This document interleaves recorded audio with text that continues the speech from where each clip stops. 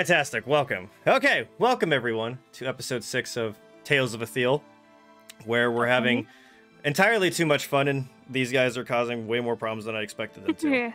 Yeah. You're welcome. Uh, it's a beautiful day. We're gonna have a lot of fun. We have a lot of exciting things going on. Uh, does anyone have anything they'd like to say before we get started? All of our viewers and listeners are amazing. All right, Yeah, then let's start and with. We'll start- Honestly, these like the fact we're already on episode six, it's gone a lot quicker than I thought it would. right? Fucking fast as hell. It feels like we're only on episode three, doesn't it? We we started over a month ago. Yeah. Wait, a month ago? What? over a month ago. Yeah, it's been that yeah, long. we started mid It's been a month and a half. I'm sorry you're Welcome sick. to your month and a half, Mark. No, Sorry you're Dragon, sick, it's not been two weeks. All I was about to fucking ask. so in our bottom left, we've got Silus. Hello, hello. I'm Zephyr. I play Silus. He's an orc. He's a barbarian. He's terrifying and he's terrified. Right next to him, we've got Kazim.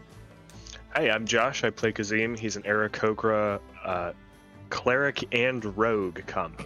It's going pretty terribly. And right next to him, we've got Mystrix. Hi guys, I'm Dyer. Play Mystrix. I am a cat bard, and I am very, very concerned with the fact that Kazim didn't like his song. He will. He'll love it. He'll love it. And right next to her, last but not least, is Nico. Hey, I'm a dragon. I play Nico. Nico's a lover, not a fighter. Please don't quote me on that. It is not going. How many people have you murdered? Still the highest KD. I will not sign. How? I will not sign down on that one ever. I don't actually think Silus has got a kill. No, he's got one. He's got. He's the got one. barbarian's got one. Got one. Cool, Well, cool, cool. First of all, I want to thank you guys for coming to play and playing this game with me and having loads of fun with me. And thank you guys for coming to watch us. Uh, very special surprise for all of you viewers. Uh, we have officially got our own theme song, and I'd like to start that now as we get into our beautiful, amazing story from Tales of Ethyl.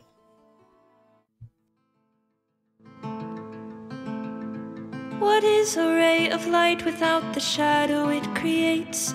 What is the darkness without desire for flame? What is a warrior without a worthy foe? What would you like to do? It's time to roll. When the lines between good and evil are blurred, no one knows if Tharizdun or Pelor came first. An ancient struggle throughout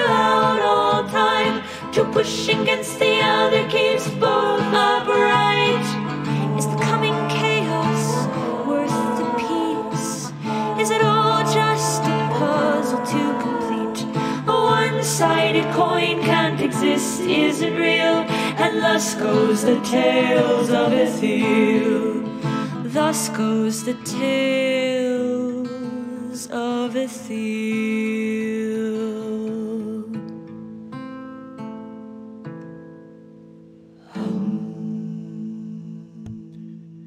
Right. That was our amazing theme song over uh, by the ever wonderful. Oh, that's too loud. Emily McNally five over on Fiverr. She I commissioned her to make us a theme song, and she went fucking above and beyond to make that for us. It's called Tales of a Ethyl. It's gonna be playing the beginning. Now all I gotta make is like a credit, as like a credit screen for for it, because that's gonna be amazing. But I love it. Emily, if you're listening to this or watching this, thank you so much for that. That you did fucking fantastic. I can't get over it. Anyway, before we get started, we have to start every episode in the same way in which we do, and that's with our shot. Is everyone ready? Oh, they're running out of Hey. Daniels. All right. Cheers, everyone. Cheers to you guys for showing the love and coming in. Here's to the campaign. Please. Warm, it's a little sour. Mm. It's a little easier every time. It'll get better.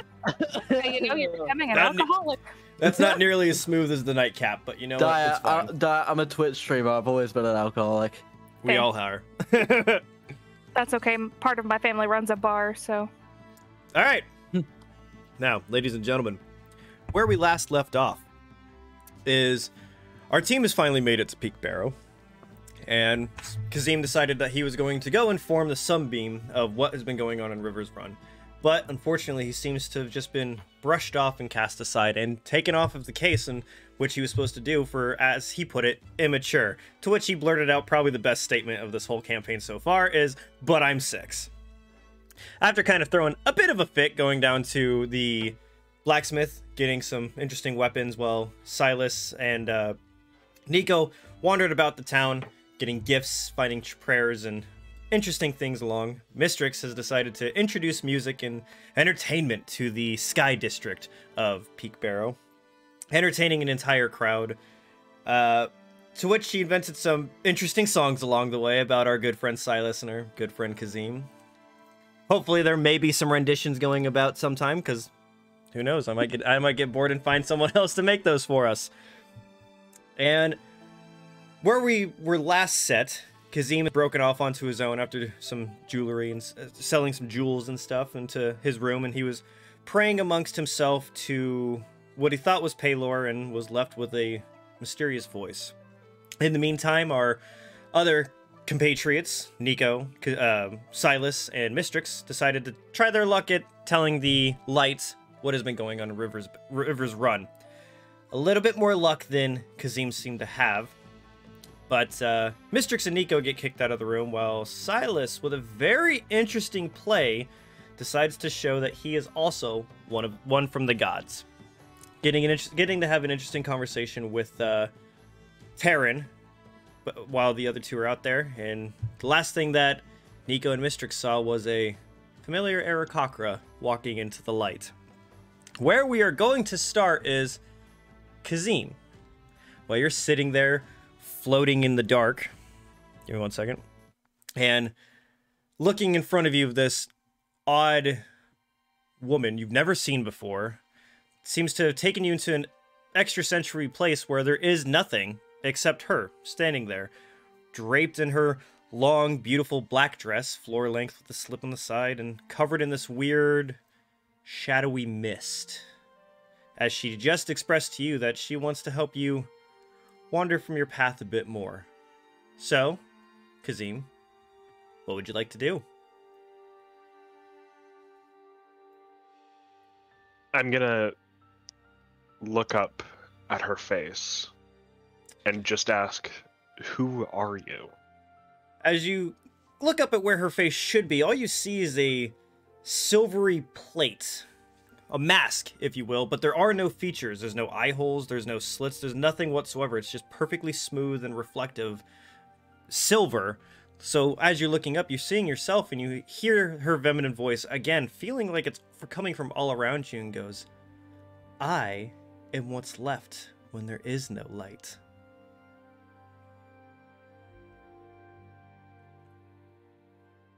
Okay. Are you Are you like a goddess or something? Oh, some may call me that, others may call me an idea, but you may call me the Mist Queen. Mist Queen. Very It's an edgy name. Okay, man. It's it's edgy. Uh I'm just gonna call you Misty if that's cool. Uh, I don't really do first names. Ooh, I like your spunk. See, this is exactly why we should tread a bit further from Pelor's light. Why would I? What reason would I have to leave Pelor's light? Look around as we sit here in the dark. Where is he? There is only me.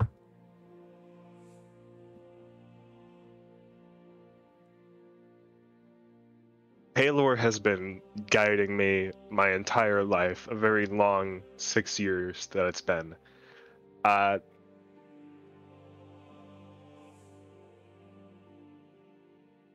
uh, just because he's not here right now with me does not mean he won't be.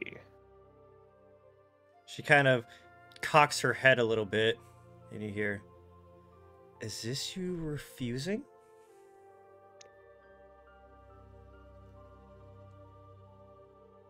Not necessarily. I you're not providing me. You're, you're not telling me what you're providing me here. I I've got it good with Pelor, ma'am. It's like sure the pay is not great, but they've raised me. They've treated me right. And they're not this is a bad example. They're not treating me right now. It's my family. Pelor is my life. I can't just leave him for the first frankly woman who walks into my prayers. She kind of crouches down as as you're talking to her. You're really starting to realize exactly how large this woman is. She is at least twice your size. As she kind of crouches down onto your level and kind of caresses your cheek a little bit and goes, "Oh, sweet child, when you leave the light, you'll see me again." And she just kind of steps back and vanishes as the light begins coming back to your room. So I'm back in my room. You are back in your room after that.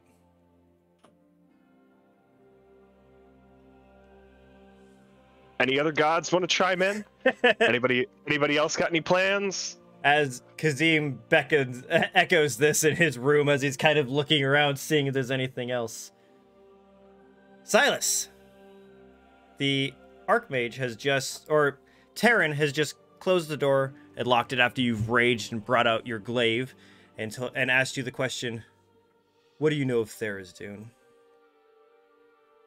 I fear a lot less than I should.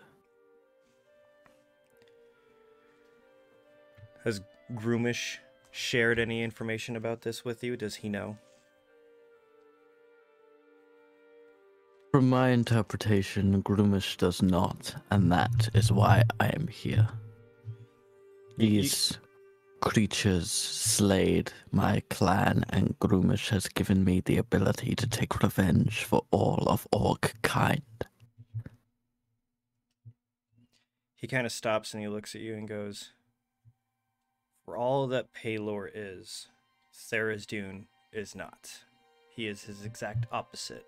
His enemy, his nemesis, yet also the same. And let me. I'm going to try and make this as perfectly clear to you as I possibly can, child of Gruumsh. Do not follow this path. You will not like where it ends. That choice is not mine to make.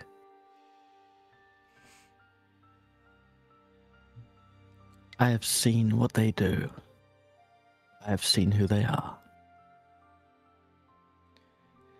And whilst I understand your fears,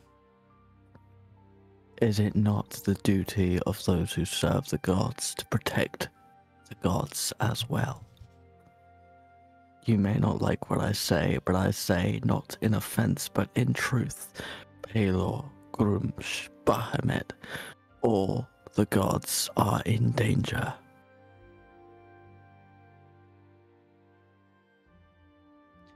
He kind of looks around for a second, and you see him quickly grab a piece of paper that's on the table and scribbles something down, folds it up, and goes to shake your hand and goes, Do not go down this path. And he opens the door and he starts leaving you in.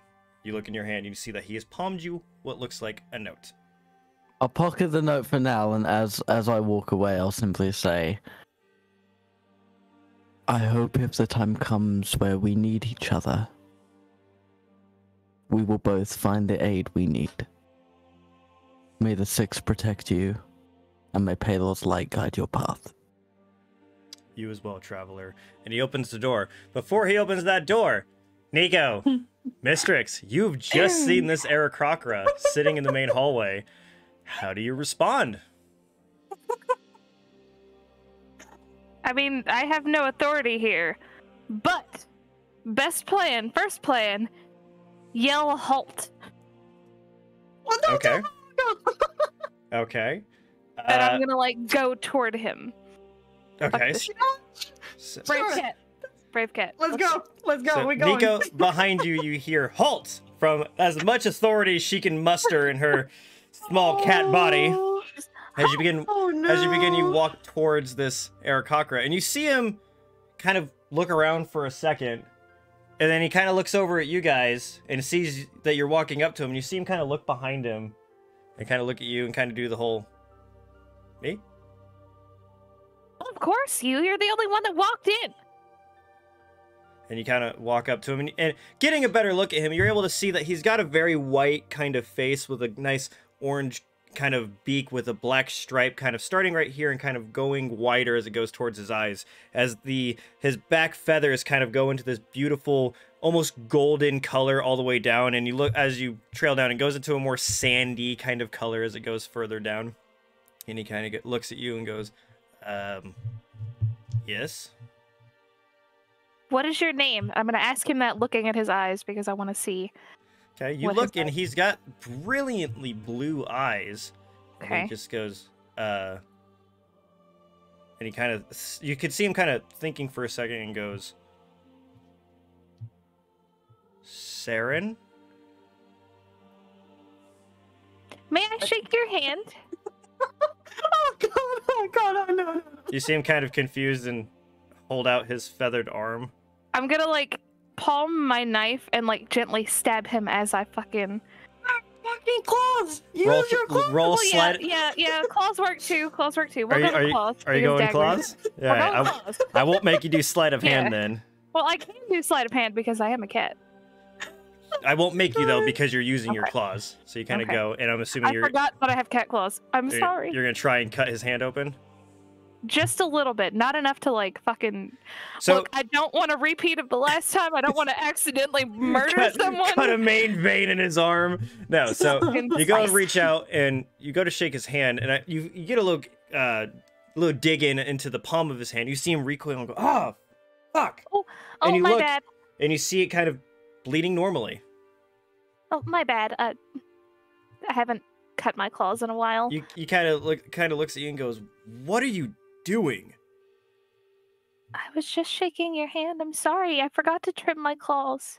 With your passive insight, you hear the door behind you open, and you see him kind of look behind you, and his eyes kind of grow wide as he quickly pulls his hand to himself and goes, "Excuse me," and starts walking over to Terran. Uh, Oh, Silus, you guys are walking out, and you I see. will point out. I will point out. Silus is still very much shirtless. Okay, so so you see you see the familiar Eric walking towards Terran and seems very he has a very concerned look of this ripped uh orc walking tor- walking behind Terran with his weapon out, mind you. Uh, and you hear this guy that he just told you his name was Saren walk up and go, uh, Terran, if we may speak in private, please. And you see Terran kind of go, uh, okay, uh, yeah, abs- absolutely. Please come this way. And you see him kind of quickly trying to get him into the room. I'm gonna show Nico that there is like blood on my claw. It's like, could it be the horse? Is the horse the issue? I don't know. I'm having a fucking heart attack here. I thought we are gonna fucking. You're gonna fucking murder the person again. I'm Oh. I'm torn. I'm torn. Uh, hold Oh, on, Silus. God. I'm gonna Oh, walk to no. Taryn real quick. Be like, Taryn, wait. Can I can I ponder you for half a second? Uh, you see Terran kind of quickly turn around and push this guy into the room and close the door and looks behind you and goes, yes. He looks exactly like the creature that we were trying to beat here. And you see him kind of look kind of both ways. I'm gonna like hold up my hand and be like, He kind of so far he's okay. he kind of walks closer to you, gets right up to your ear and whispers, "Did he read Kazim's mind?"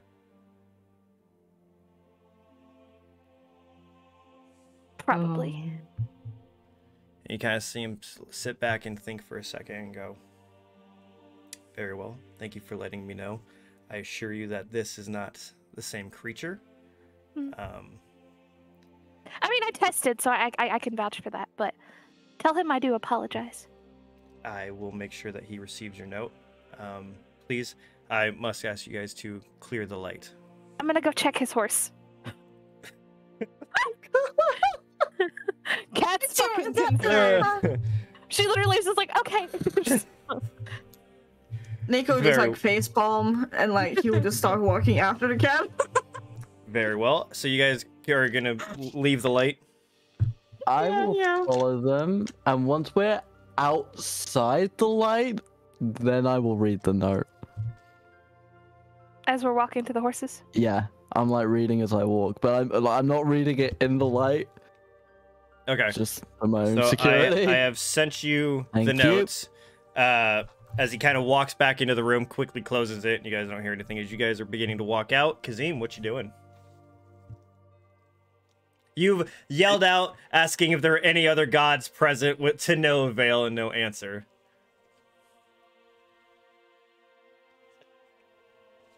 I'm gonna go check the jails, or I'm gonna go check the uh, the library here in Peak Barrow, uh, hoping that my friends have not already gotten themselves arrested. so you begin walking down and you see the scribe that had knocked your knocked on your door not, um, not a moment ago asking for you uh, kind of waiting there as he sees you walk out and immediately walking down and he kind of immediately starts leaving assuming that you're going to start heading towards the light so he can go let Taryn know that he's informed you and it seems like it's a, it's fairly it's getting a bit later um it's getting it's not terribly busy there. It's very kind of quiet. There's maybe like three or four ish people in the bar right now. As you begin walking out, you see the sun kind of dipping over the dwarven uh, mountain in front of you. You see that the couple lights begin to flicker on in front of these businesses around you, and you actually manage to see your friends walking out of the light currently as they walk up to a horse that was kind of nearby as there are five of them in front of the light. And Mystrix, which one you stabbing? Gonna stab a horse. How else you gonna check? You've stabbed everyone else. I'm sorry, but we clearly saw this man riding a horse. Which one looks similar to the one You- from that? You didn't see it. Kazim saw it. I was gonna say we didn't see Yeah, you have no idea which one it is. Well, which horse looks like it's been the most exhausted? They're all traveling horses. Uh, actually, you know what? Make a nature check. We'll see what you can do. All right, all right. Doubting my abilities being a cat and such.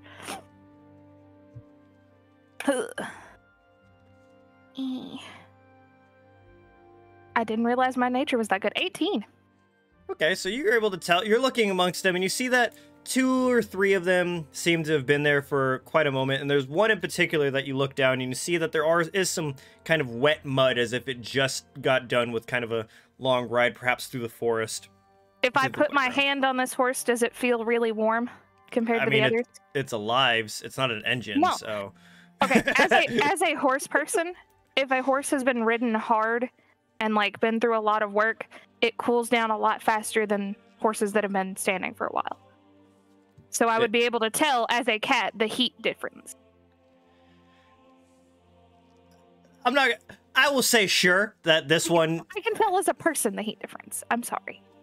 I. I sure this one feels like it was written the most recently. I guess. Okay. Well then I'm gonna like nonchalantly look in the bags and see what's going on in the bags. Oh So- my. Uh, Captain Nico will stand to, and try to cover her with his. Silus, you do anything as you see them, her rummaging through a horse that you're Do quite I sure isn't yours. Do I see Kazim? Uh, yeah, I would say you see Kazim just walk out of the feathered bed real quick. I'm gonna beckon him over and then put my shirt back on. But I Okay. beckon him over first. Why was your shirt off? Evidence. Oh god. Why are Alright. you shirtless? Because I can be. Uh, Do you talk to an the sunbeam with investigation your here. shirt off? Oh, Kazim, how's it going? No, no, it was As more you- as you successful see- than your attempt. Mr. No. He likes larger, taller men, I suppose. Come You're on. not going to imply that my pope very intelligent, and I was very good at explaining the situation, unlike a certain feathered friend. We will discuss this. All in a right. we'll, we will discuss Are this you in a private brazenly setting. just pilfering a saddlebag in broad Not daylight? I am not taking anything. I am Speaking of which, roll for investigation. All right. Kazim, you're the one who was on a critical, subtle mission. And you're Uh, currently out in the street yelling. Bestie? Technically, none of us are on a subtle mission anymore, okay? How's the 24 hit you? Well, so you kind of look around and you see what looks like rations, a tent, bedroll, some rope, main, mainly just kind of traveling things. You don't really see too much out of order. You would assume that if there was anything special, he probably wouldn't leave it on his horse. Yes, but I would I would notice if he was wearing a bag or anything whenever we first saw him, and you didn't say he was wearing a bag. Not necessarily. He could have it underneath his robes. You're not too sure. You have no mm. idea what a oh, sleight of hand I might be. want to know what's under his robes. So, yeah. Jeez.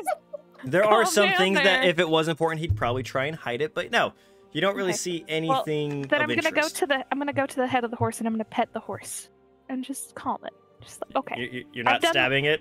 I I can I'm gonna look at its eyes, but Okay. other than that, No, the, the eyes look perfectly fine. But yeah. anyway, Okay. pilfering done.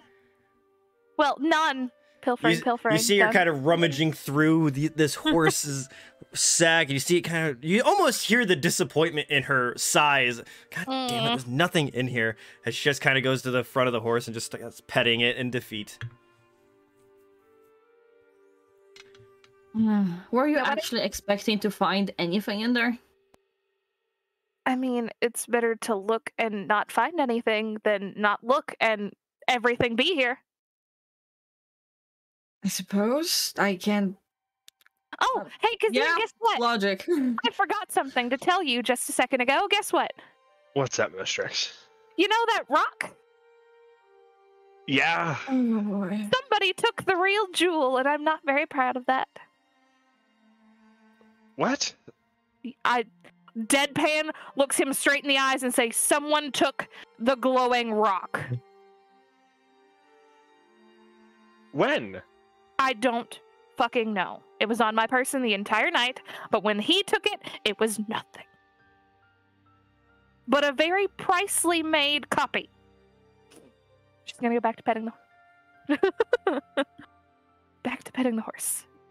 So Is- people refuse to believe us. We've got no proof to show. Whatever. Oh, no, is, he like, it. go- No, no, no, no, no, no, no, Well, I. Whoever was fucking going here has already started fucking started spreading rumors about us, and we are Should we really deluxe. be discussing this all in public where Sure. I- could hear us? that is an excellent point, Silus. I got us some rooms over at the inn. Let's go talk about it there. Uh, in one of those rooms, preferably. I think that would be a very good idea. I think four people in one room is a bit of an insinuation, but okay. Just say it's a book club. Book. I'm sorry, Silus. It does not look like you read books, good sir. We're gonna go play cards I can't upstairs. How about that? Oh, I Like chess. it matters. How about we ha- how about we play chess? Oh Let's go play chess. We're not playing cards or chess or discussing books. We are talking about incredibly important information.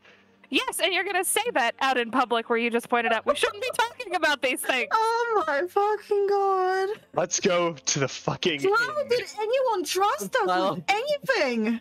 Silus is just gonna start walking. Fuck this shit. oh Because I, I, my god! I'm gonna walk in the direction Kazim came from, and but slow enough for him to be able to catch up and Still buttoning your shirt.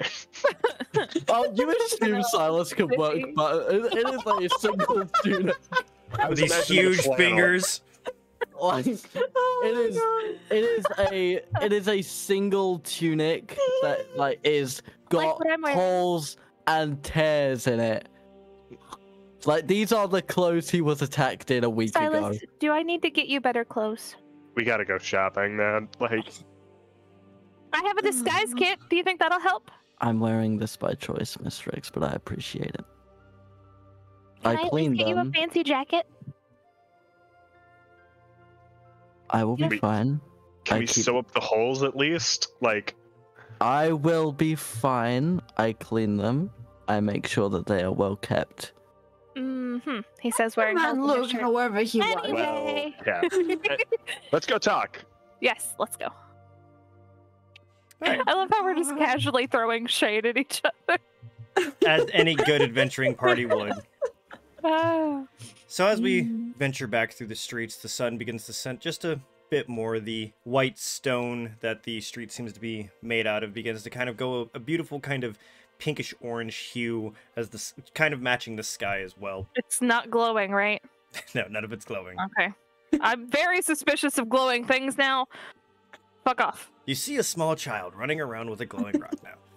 I will pimp snap Yo, the like that child to the ground. Yeah, we are fucking ambushing that bitch, okay? no.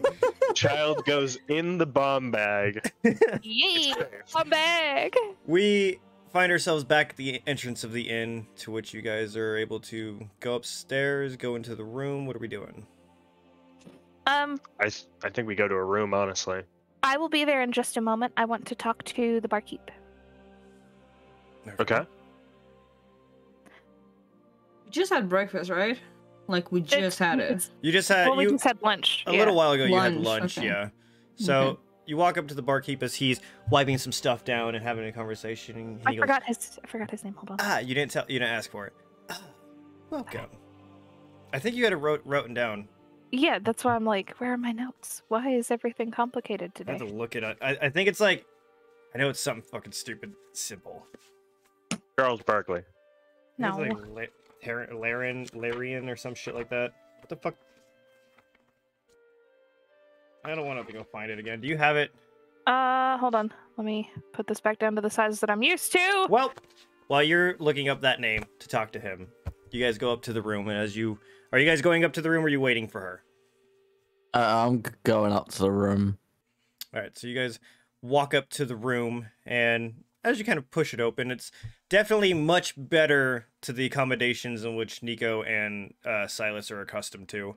It's got a, it's got two beds in it, that have beautifully plush kind of down, uh, uh, carp, uh, comforters on it. Nice, comfy pillows, and this large kind of decorative rug that seems very red with the symbol of Pelor in the middle of it. You've got a beautiful little window with a little sill seal that are, is uh open up to be able to overlook the rest of Peak Barrow. With you got yourself a nice little wardrobe. There's two, as in case two people wanted to stay in this room. And you guys are in there. What are you guys doing? You gonna wait for Mystrix to come up before you start talking? I, th- I think I it's mean, best. yeah, Talk everyone about should be here for the. Talk smack about the cat. Do Alright, it. No, I'm kidding. Mystrix, did you find the name? yes, I did. What is it?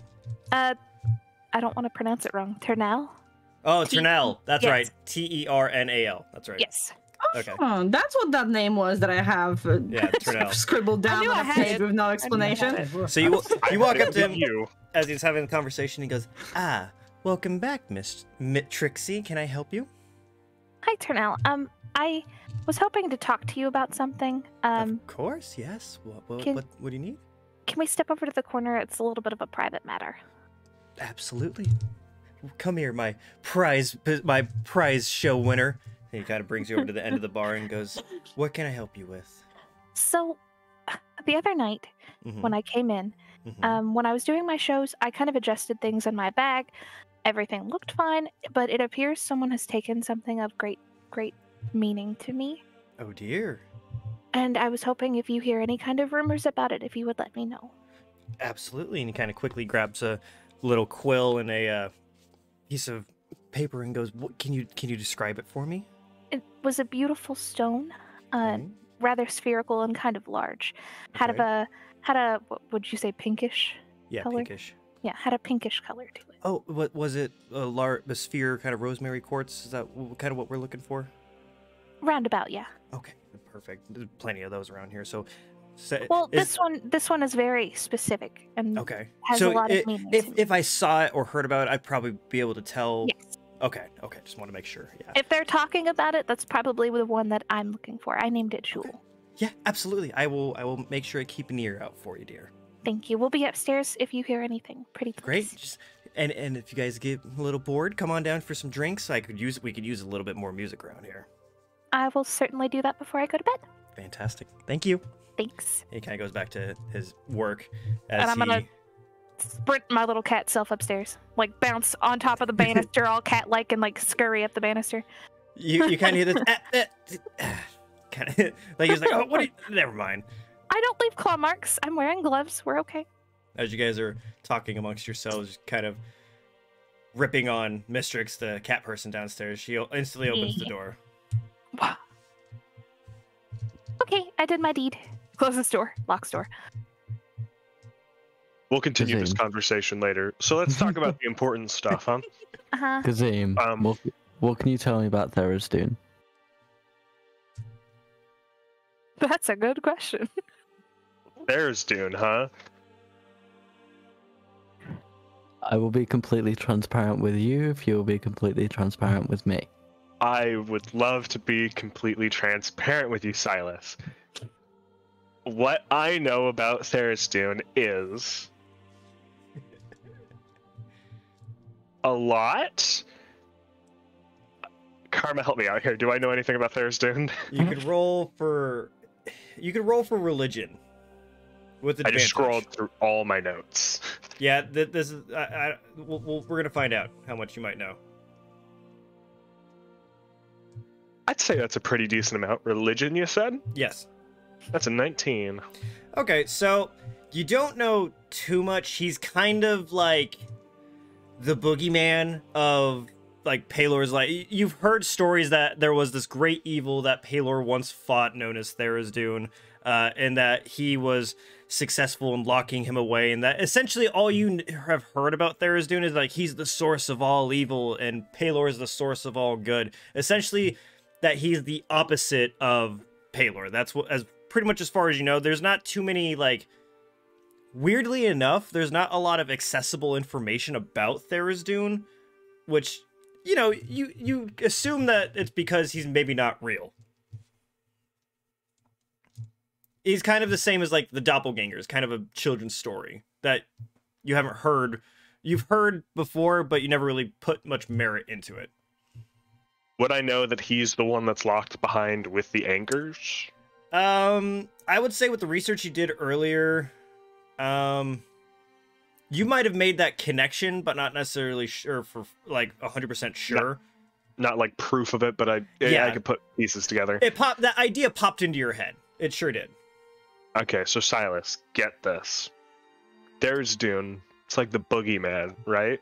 And uh, I'm under the impression that the anchors are trapping him in the astral sea. That's pretty much it. Well, I met a gentleman called Terran. I assume you oh, know. Oh, him? fuck Terran. Yeah, what about him? Well, he is very afraid that Tharizdun is becoming a much greater threat. And he has warned me not to go down this path as it will lead to a terrible end. Cool. Sorry, I just needed to applaud Karma for getting his shot glass to work. You did it right. I have a tiny champagne glass. Yeah, Ter- Terran would be worried about that stuff. He's super big on the religion uh, kind of aspect. I I wouldn't put much merit behind the things he says, but well, he's hon- been- honestly, it sounds like what we're doing is helping him anyway. Yes, well, he believes what we're saying is true, and I believe I made him an ally. He told you that he believes us. Yes, he is actively concerned. Yes, and I had a conversation with him, and I think he and I am on this are on the same level. I've had a lot of conversations with Terran. Any chance he said it in a semi-sarcastic tone? No. he gave me a look of the comment. Would I call it a look of fear? One hundred percent. You would see that there was immense concern amongst his uh, about his face. He looked about as serious as Nathan did when he saw his son was injured. Damn. And I'm saying this deadpan.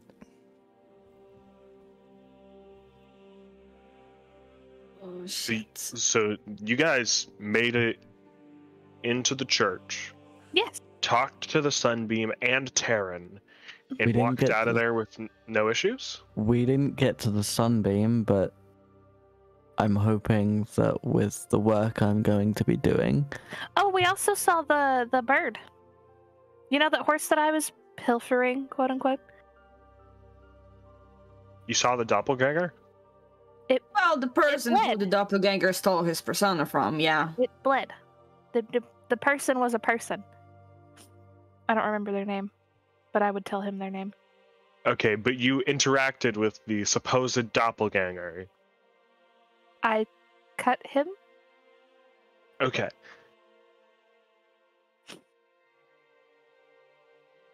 Breathe, please. Express. wor- Working on it. Uh, okay. we all have previously That- interacted with this thing. That so- could have gone very, very badly. You remember what happened last time we interacted know. with him? I know. But it was the best course of action in the hot second that I had. And I so far, understand that he- bled like normal. I understand that So- he wasn't a doppelganger as far as we could tell with our very meticulous Look, cut your hand open check. But look. That Do I if- need to do it again? Do I need to cut myself here? Is that what this is?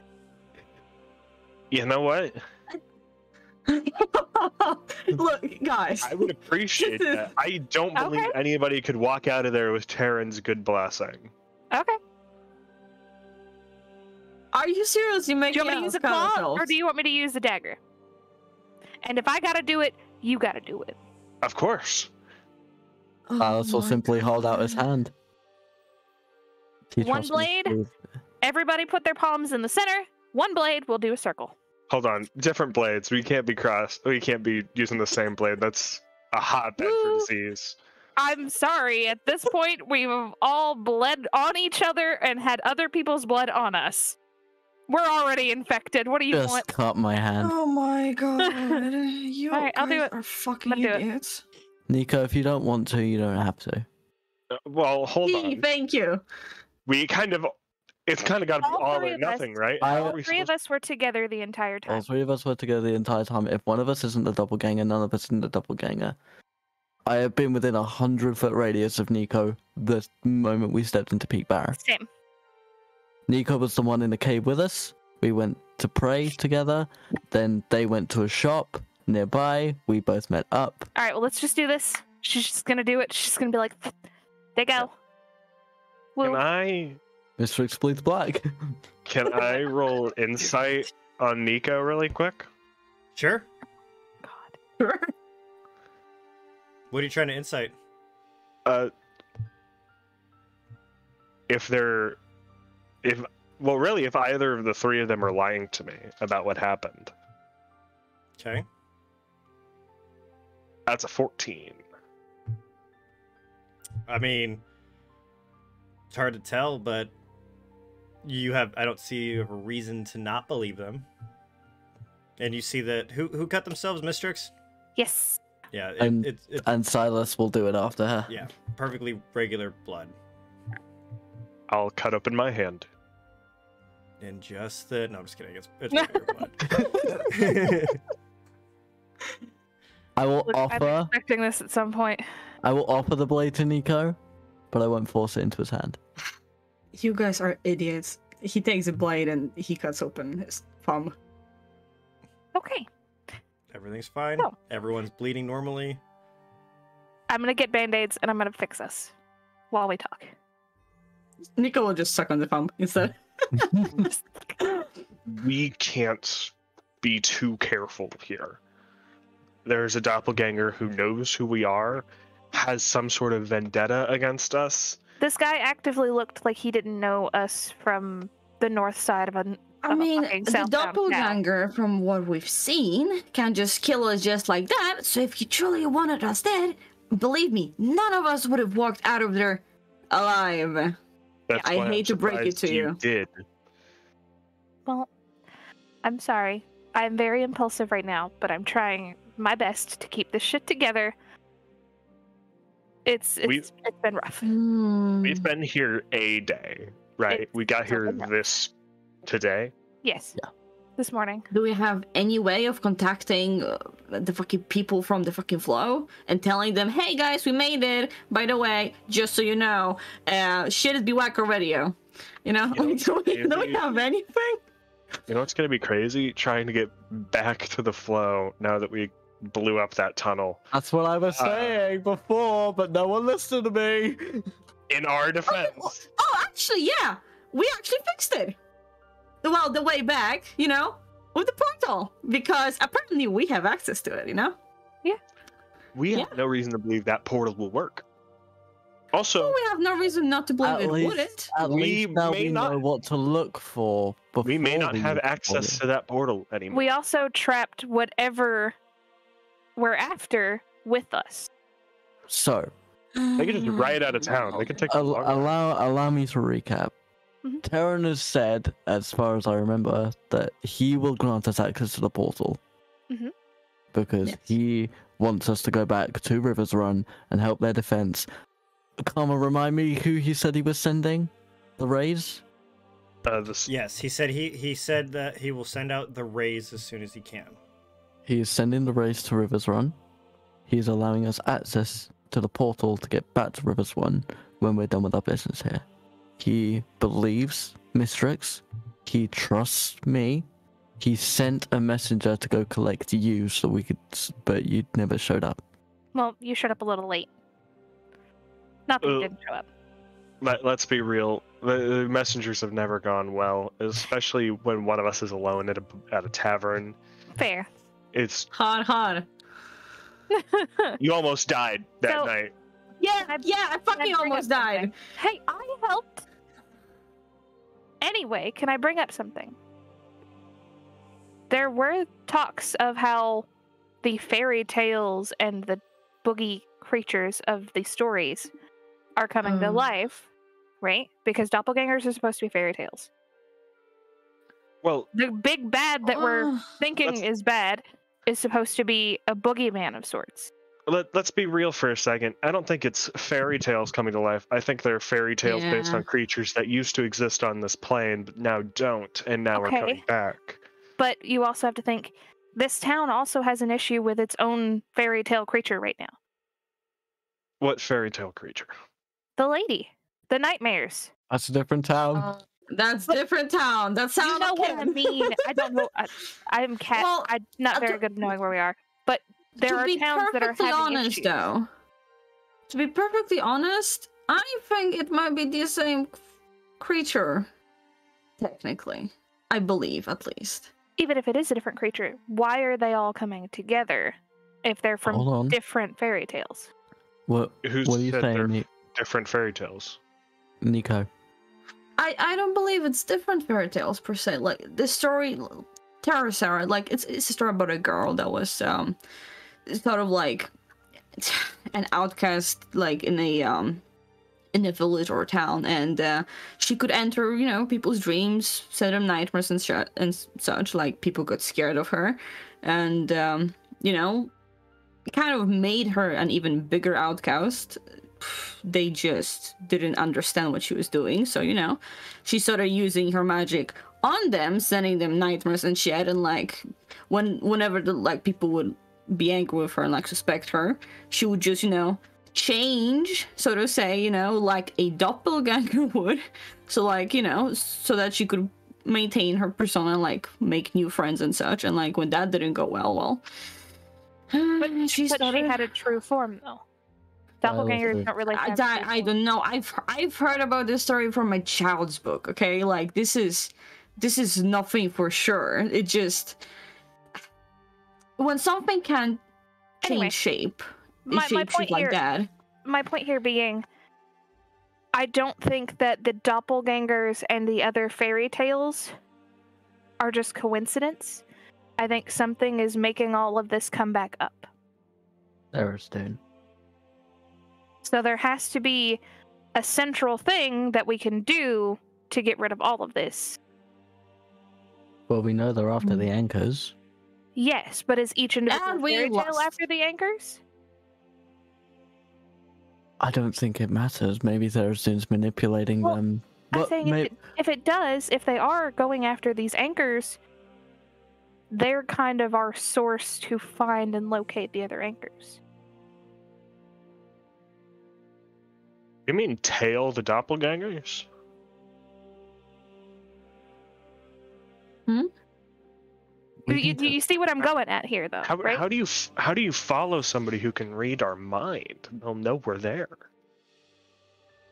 We need to. The point being, Kazim, if your theory is correct, and that breaking these anchors will release Tharizdun, and if that is what Terran fears, if that is what happened in Rivers Run, we need to find the jewel quickly. Because if anyone has it, be it nightmares or doppelgangers, if they have it and they want to break it, it could already be broken. But I'm pretty sure the doppelgangers already destroyed the anchor they were after. I think they want to destroy. I, I think. Well, my, my my point being, I think they were they have some they're going after, and the others have things they're going after. It doesn't have to be the doppelgangers that we follow. No, we we follow the anchors because if they all break, And Tharizdun they- comes back. and they can probably if they're going after them they can lead us to them i don't have any way for certain to say they are going to them but it's a Or good what kind you're of trying to say, whereas Yeah. anchors, there is there's the doppelgangers, basically. or there's nightmares or nightmares. yeah or- there's a bad guy going after these good pretty shiny things Here's a problem with that plan. We almost got our Just ass one? kicked last time. i know i know We can't just go in there and expect to save the day. but at least i have a plan we go back. We go back to Rivers Run and talk to the council. Then the council's going to be more help to us than anybody here is. Wow. So we're going to live, leave the city that the doppelganger was heading towards, as if Um, nothing happened. where my Uh, jewel is missing where there is an active anchor in its town Nobody said we're Let's- leaving. Let's We just said we're going to talk to the council. let's be real for a second. None of us touched the crystal. We were all very careful as to not to. No. We don't know if the crystal we picked up even was real. Right? Do we have any reason The to believe otherwise? the point is when I rolled the thing, when I handed it to him, he knew that that's what it was supposed to be. That it was a knockoff, but that's what it was supposed to be. It wasn't glowing like it used to. Things were wrong with it. It wasn't perfect like it was. Even So- holding it in that cloth, you could tell that it had the weight of a perfect sphere, and it wasn't the same. Okay, so the crystal we picked up in the cave was is, could most likely yes is most likely real When and has someone the crystal has taken it when has the crystal ever been apart from you? Let's start from there. The only time it would have been apart from me is when i was in this tavern which is why i had a talk with the barkeep that if he heard any rumors about my missing rock to let me know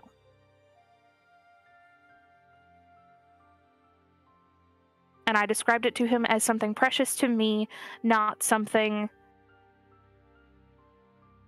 Yeah. So the only place that it could have been stolen from you was is when you around were here drawing a crowd of completely random people whose faces we may never see again.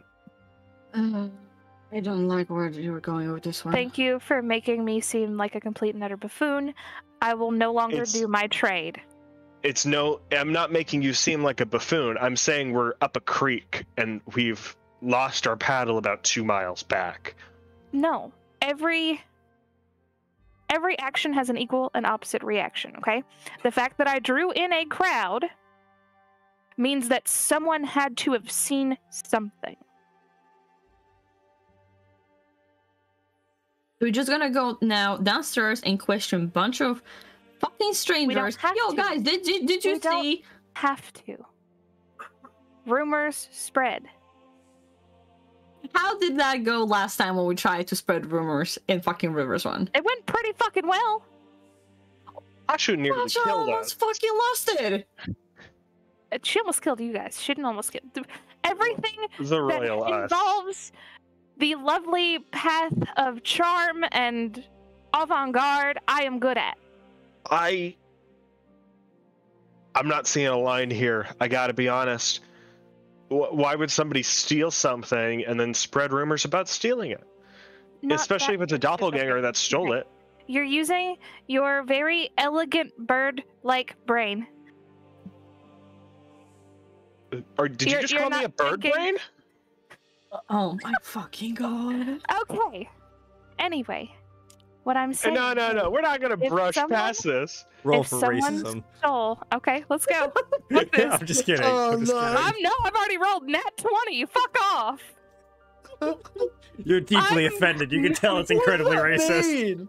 What does the Let's- nat 20 racism roll mean? We got it. fuck off, bird. Anyway, oh, Guys, Stop guys, calling me please, bird. no.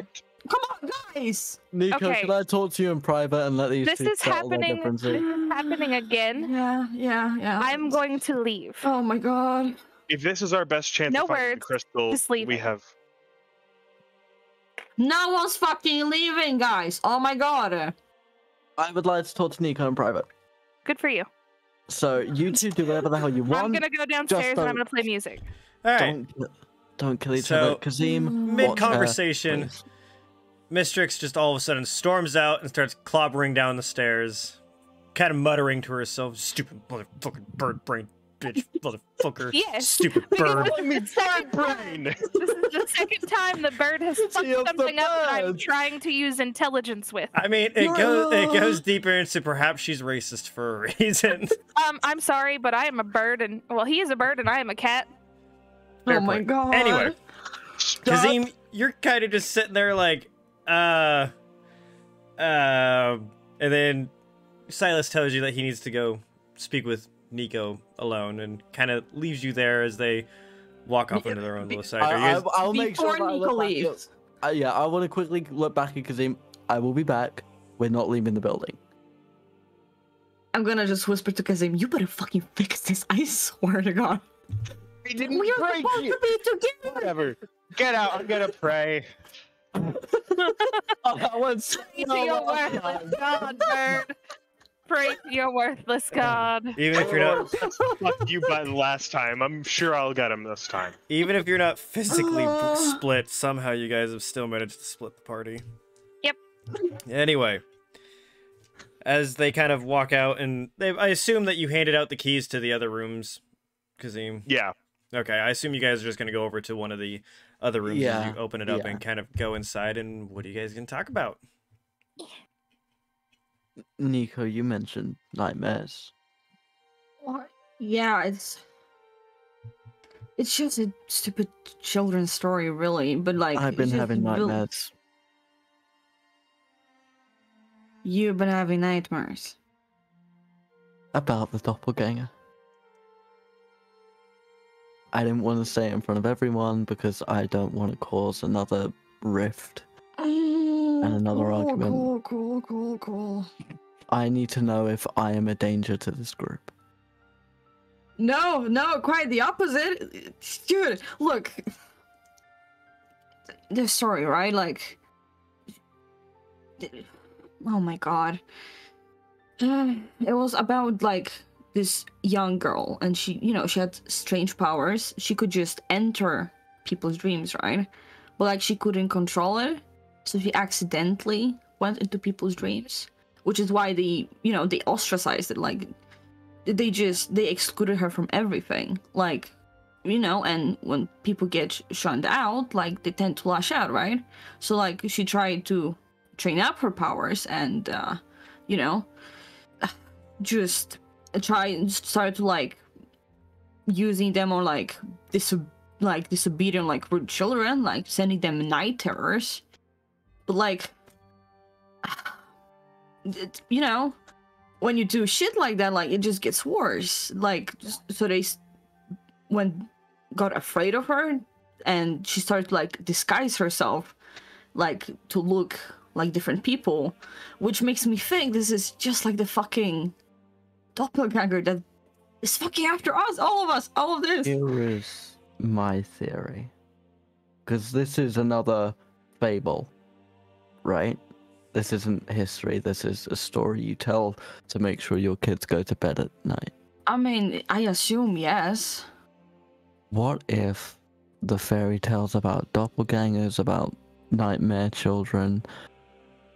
What if they're all the same thing being told in different ways by different people. I mean, that's what I was thinking. Like, Sarah went mad. Like, she she really got mad. And if anything that we've seen with this doppelganger so far screams mad, I mean, come on. I in our downtime, I'm going to do research to see how many different scary stories match up and line up. Just if you have another nightmare or so, and if you feel in any way off, just tell someone. Tell me. I mean, from the story, like everyone you know who's been sent those dreams, they died of fright. So I- you know, if if you start feeling off, I mean, tell us. Come on. Nico, I promise. This is why I've come to tell you.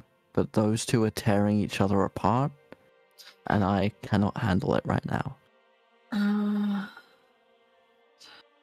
I, I don't know what to do. What are we supposed to do?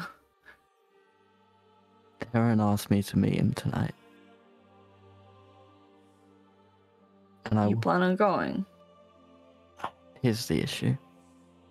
He specifically, and I'll show the note to Nico. He specifically told me to not bring Kazim. Not what bring reason? Kazim. I don't know. If all three of us go and we leave Kazim on his own, that makes him vulnerable. If I go on my own, that makes me vulnerable. I don't know what to do. Uh, he didn't want you to go alone, did he? Or He only said don't bring Kazim. But I don't want to leave Well, we Kazim in can't danger. leave. We can't leave Kazim with with Mystrix. I mean, you see how that goes every single time. Would you like me to take Mystrix with me in the mine and you watch Kazim? I honestly feel like for tonight we need to keep those two apart. Because this is twice this has happened in the last 24 hours. I mean, look, I don't have the best track record of, you know, keeping people safe per se, but I was sure I, I will stay with Kazim, but like, I mean, you've done great with Freya so far from what I've seen. oh yeah, totally. Totally, She's totally alive, did not. isn't she? Safe. Uh, Far look, no, danger. wait, no. I don't know. I J- we'll okay. We need to worry about ourselves right now, and then we'll get back, and we'll give her this, and I'll pull out the crossbow. I, mm, hmm. I told you, I'm gonna teach her how to shoot properly. Because you're a terrible No. shot with a bow. I, yeah, yeah, I, I am a terrible shot, but Silent, I, I don't feel comfortable leaving you guys per se alone.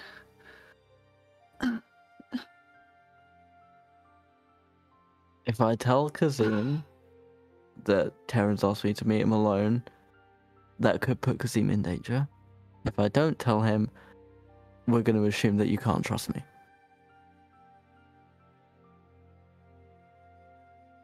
I I'm at a crossroads. I don't know what to do. For the first time in my life, I genuinely don't know what to do.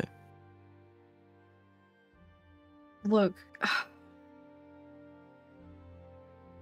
what if Mystrix she she wants to look for the jewel, and she knows how it looks like exactly how she's the one that was had the best look at it. And Kazim, he clearly knows this place around. He knows the people around here. But just like, what if we have those two actually look and like maybe ask people about it? I mean, no one knows this better, this place better than Kazim does. That's If we just feel we're not have them- properly. If we just have them walk together for like one night, And then you and I go to the mine. Yeah.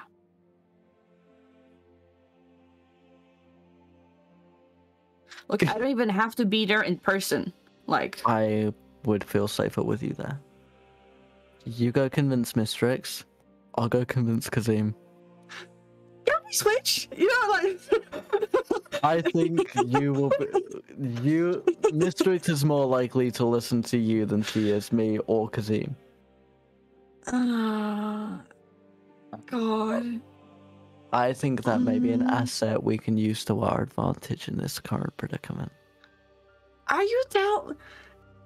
Silus, what, what what are you telling me to do right here, right now? Am I supposed to? Convince Mystrix to go on a walk with Kazim tonight to find the jewel. Then tomorrow Fine. we'll Fine. go. Whatever happens tonight with Terran, we'll judge on whether we go back to Rivers Run, whether we just try and message them or find a scrying pool or anything like that. Oh, cool. Yeah, that's way better than facing off with Doppelganger for sure. I mean, yeah, it's just convincing the two people that hate each other's gods to the fucking extreme to spend time together and work together. Yeah, well, I mean, yeah, not hard at all. Cool, yeah. The four of You us know- are gonna have to learn to work together eventually, or we are all going to end up dead. I'm more than happy to take a step aside to help anyone here, and I feel like I've proven that. But if these two don't get on the same page, then honestly, they'd be better working alone. And they would then end up dead, and then we would end up dead. I don't like where this is going at all. But yeah, The, I've- The only way they're gonna work together is if they can get their shit in check. Whether they agree or disagree with each other, they need to learn to be civil. Because I can't take another night of this. I will kill someone. Please, just don't kill me. if you have to kill anyone, yeah, yeah. Well, I'll let you flip Let's, the coin. let's let's not let's not kill anyone, okay? Sh- Look, come on. We'll be fine, Nico. Worst case scenario, I'll have you flip the coin on which one gets it. Oh my god. What now? I don't want to decide who gets to live, who gets to die. That's.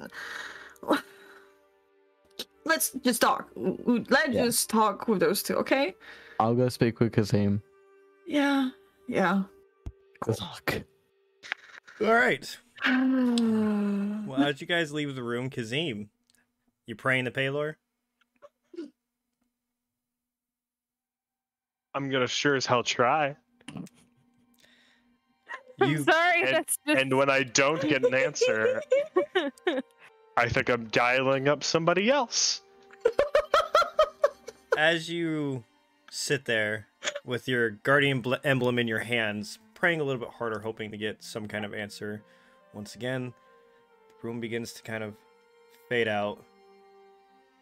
But this time you do feel that warm light showering over you as you look in front of you and you do see the very large statue statue that is Pelor. His face glowing a blinding light so you can't quite look him in the eyes and you hear his booming voice and go ha passing up on temptation i see you returning young one Was that some sort of test, man? one that was unintended i don't know why lyra feels the need to meddle Lyra? indeed Man, Misty's a way better name for her. Anyway, uh. Pelor, I need some fucking guidance here, man. Ask I'm sorry, I said the fuck word. Uh. Pelor, I need some guidance here, my guy. Every time. I'm sorry. I'm sorry. Hold on. you just casually talking up to Holy people. This shit. fucking I, cracks me. I don't do formalities. I'm just imagining this Never bird. been for formalities. Okay, I'm just trying to imagine this bird speaking to a literal god in this way. Oh, Okay. I need, Sorry. Okay, I, I need, said- I, need, I need to, I need some fucking help. Oh shit! Oh, fuck. Okay, back in. Pelor sits there, staring, looking down on you, and goes, "Ask, my child." Can you give me answers for what I should be doing? You see him kind. You you see him kind of just stand there for a second. You can feel his eyes kind of gazing at you, and you just hear the question, "What would you like out of life?"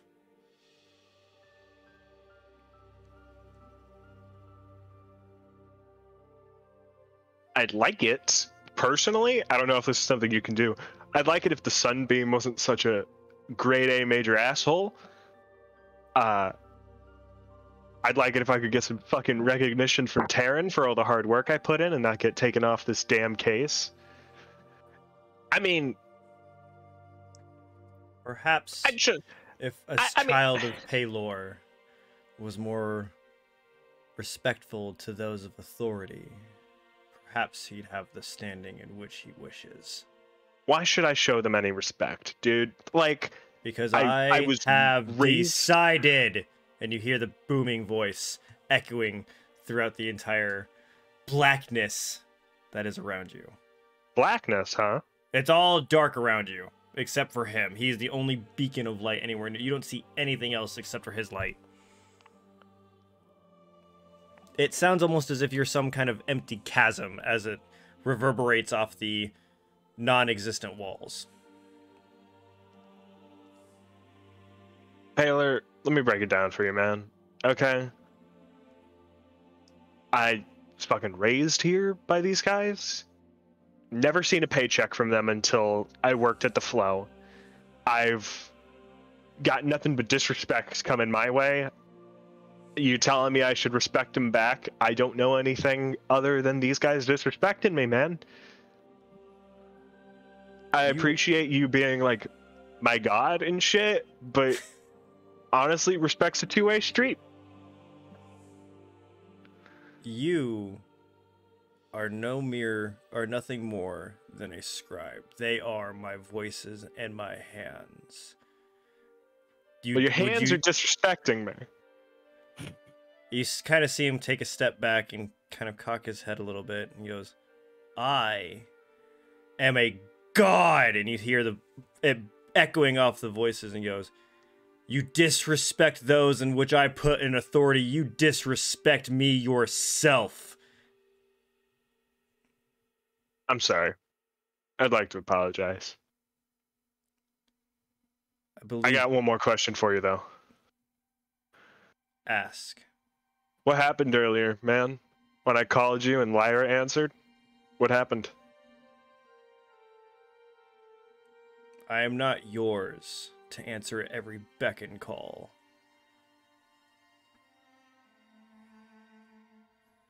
I see how it is. All right. I believe penance is due for your disrespect amongst the church and your disrespect amongst me.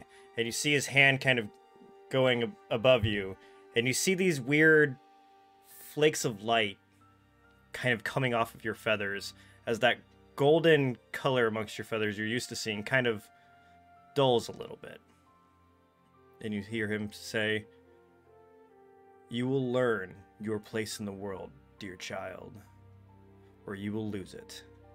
And everything kind of, and you see this big flash of light, and as everything kind of calms down, you look around and see you're back in the room, and you kind of look down at your feathers that seem a lot duller than normal. Normal. That probably no one else would probably notice, maybe, but it's definitely a big notice to you. All right. So after that happens, you hear a knock at your door.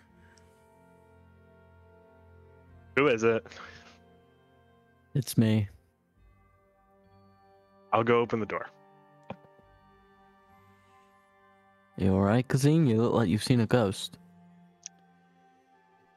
No, I was just talking to an asshole. What's up, Silus? Uh, I may have a favor I need to ask of you tonight. And know that if you fulfill this favor, I will compensate you in any way, shape, or form that you deem necessary. But this is for the benefit of the investigation. honestly, no compensation necessary. You've saved my life too many times to count. What what what do you need? You may take that back when you hear what I ask of you. Oh god damn it. Don't say that to me, Silus. What do you need from me? And you can hang out with Mystrix tonight. So about that compensation, huh? Let's uh I mean, uh, got six gold. what what First of all, six gold? Really? You're gonna undersell me on that? Second of all, Okay. What do you what, how does me hanging out with Mystrix tonight help the investigation? Oh There my is- God. Something Nico and I need to do. But I feel like if we split each other too much, we will have another situation like we had in Rivers Run. So I will go with Nico and we will do what business needs done. And you will go with Mystrix and make sure neither of you get killed. And perhaps you know the city, you know the people in some respect far better than I.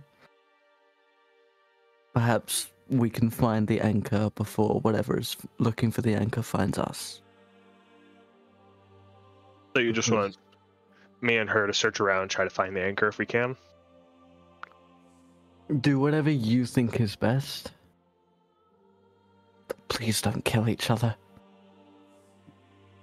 I know you two don't see eye to eye, but we are in this together. We agreed that in Rivers Run. What are the two of you doing that's important enough to not also be looking for this? We're looking into the nightmare situation, and Terran gave me a lead. Since he didn't, since he gave it to me privately and didn't give it to us when the whole group was there, I assume it's something that's on a. The more people that know it, the more people could be in danger. We know what we know. Minds can be read. At least if they find me and Nico, you guys will be a little more protected. If they find you, me and Nico will be a little more protected. All right. I'll work with Mystrix. We'll try to find this thing. I appreciate it. All right. I value your your teamwork and all this. I may not be alive if not for you.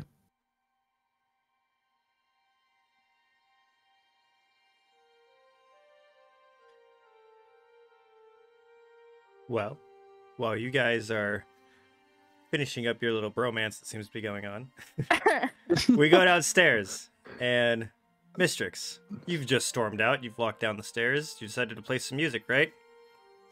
uh, yeah. Have you got your weird drink? Some Yes. milk, Charcoal. vodka, and charcoal or something. Yes. So he brings you your odd concoction as you sit there. Please roll for performance. Dear Lord. May the loot gods be with me today. Actually, let's play the lyre today. Ooh. Yeah, we'll be fancy. That is not what I'm looking for. Thank you. Well. Okay, it's a 19. It's not bad. Okay, what are you playing? Uh, probably playing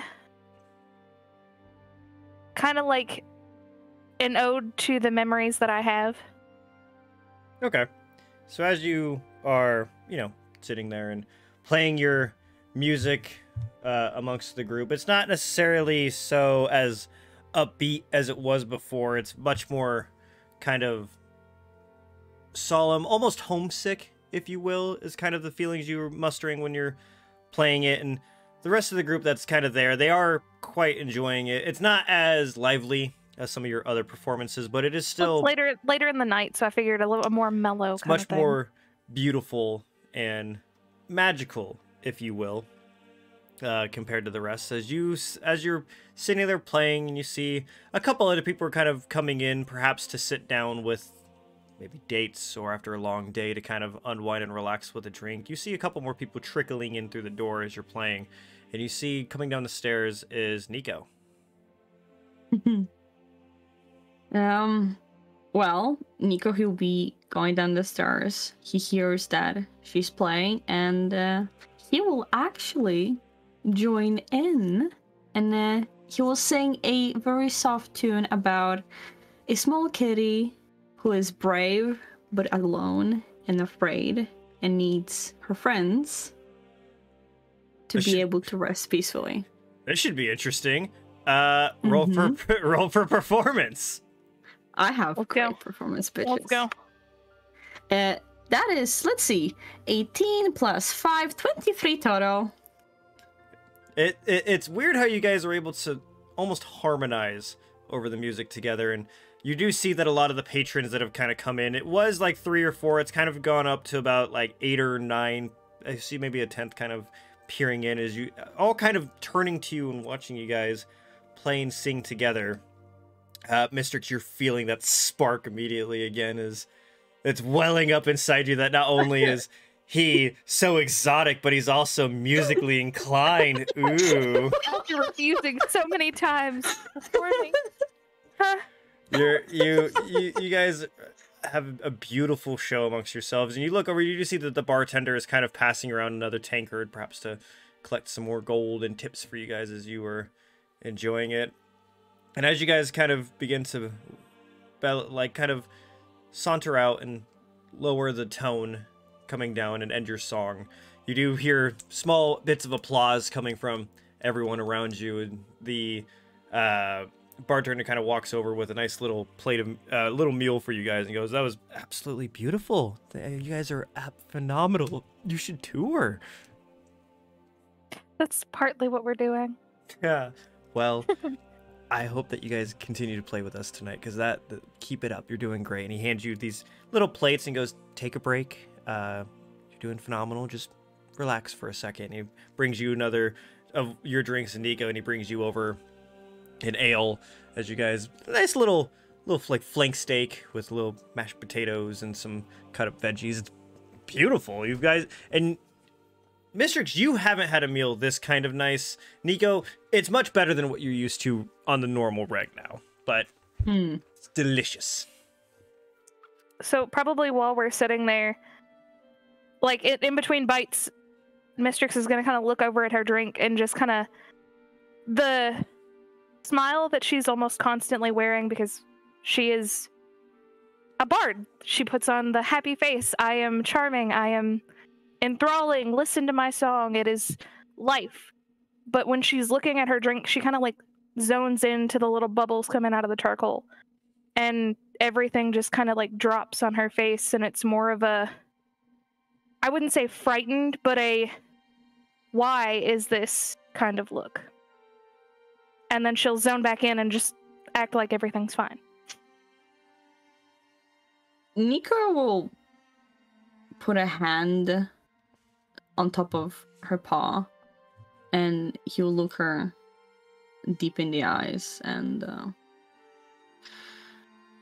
Are you alright, Mystrix? I'm good. Um, everything's fine. Are you okay?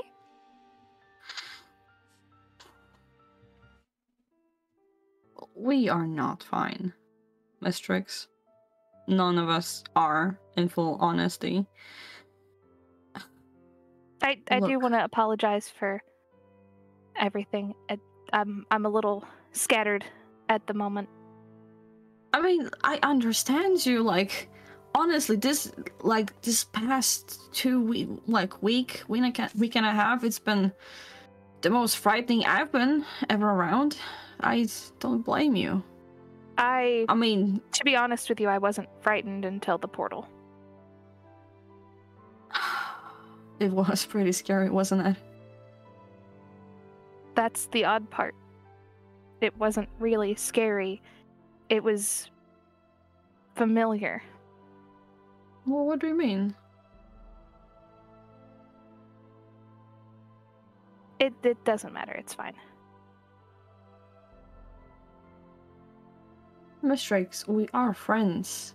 We will continue to be friends. Yes, but we have more important things than my mental state. We're fine. Everything is fine. I, w- I would love to disagree. You know, like I, I think like you know, Though we're the bird and supposed I to have do our this- disagreements, though the bird and I have our Oh. disagreements, I have saved him. I would do not wish him harm. uh, I've wasted yeah, enough about medical ab- about that that man. ab- about that bird. You know, Look, look, he is a bird. I'm sorry. It's not meant as an insult. It is. It's my brain. Just like Silus. Yes, Silus is Silus, but Silus is Bjork. And you are the dark one, the shiny one. There, there's. I don't know how I'm to explain it. It's, it's not. Sweetie. It's it's not that. Yes, I know that that's part of your race, and yes, I know that's part of his race and part of Silus's race. And I'd never mean it as an insult to Kazim. It's just my brain. Well, have you told him that? I've That this is how tried. Every time I try to tell him things, he goes all birdie and panic. She's literally gonna do the motions of like, "Arr," but like flappy. Look, Miss I honestly did not want to ask you for this because I feel like, in a way, like, you have a right to just not like someone, but It's not that I, need don't a like him. favor of you. I wouldn't save him if I didn't like him. See?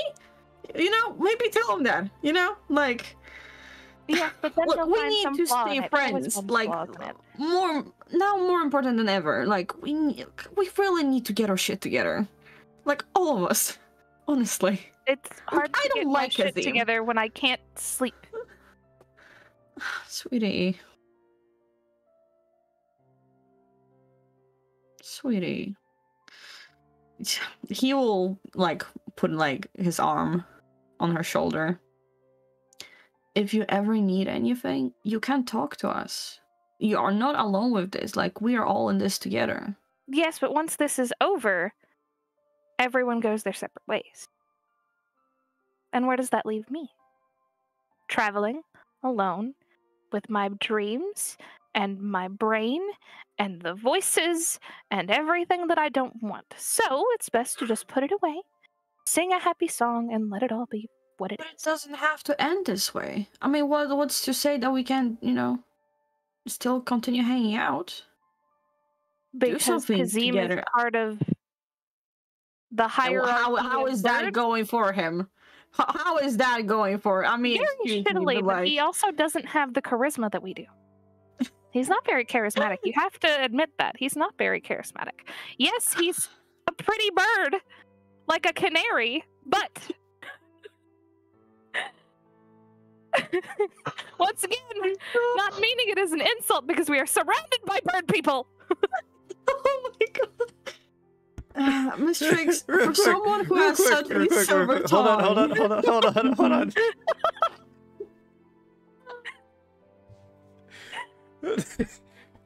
okay. Uh, I feel like this needs to be said. Do it. Uh, let me see. What is your passive uh, perception? Me? Yeah. Uh, can't fucking breathe. 14. Okay, Nico, you don't. Nico, you don't notice it, but every other Aarakocra in the fucking bar is staring at Mystrix after repeatedly saying the word bird and saying there's so many bird people around here. And then she's gonna like literally be like, but it's not an insult. You can't do this. It's the I've been around this many feathered avian entities.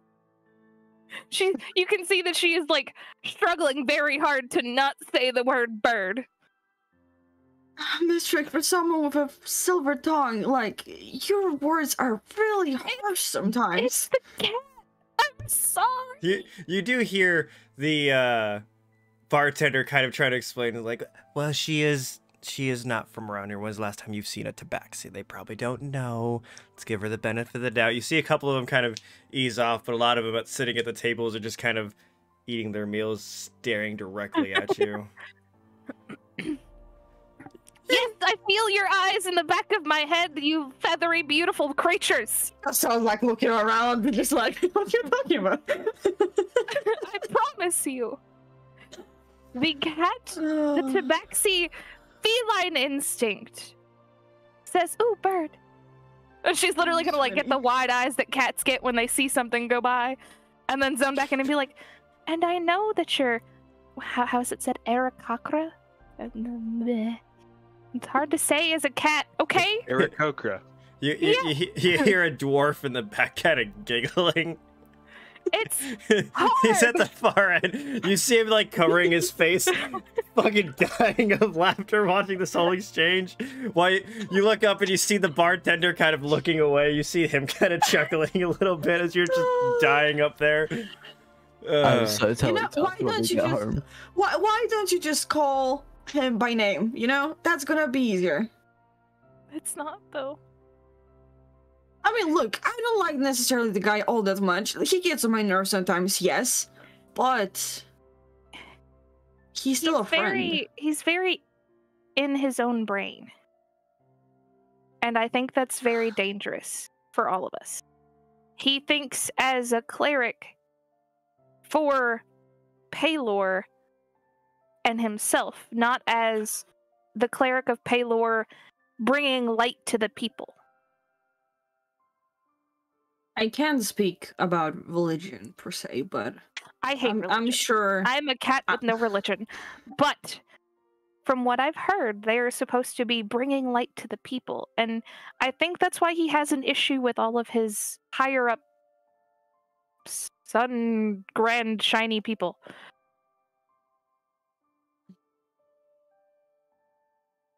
Looks, I But I came down here to ask. why do you want me to spend time favor. with the why do you Yeah. want me to spend time with him? Look, I'm a little scatterbrained. I'm sorry. I get off on tangents very no, easily. no, no. It's fine, sweetie. You're fine, okay? It's just that we really need to look for the gem. We absolutely need.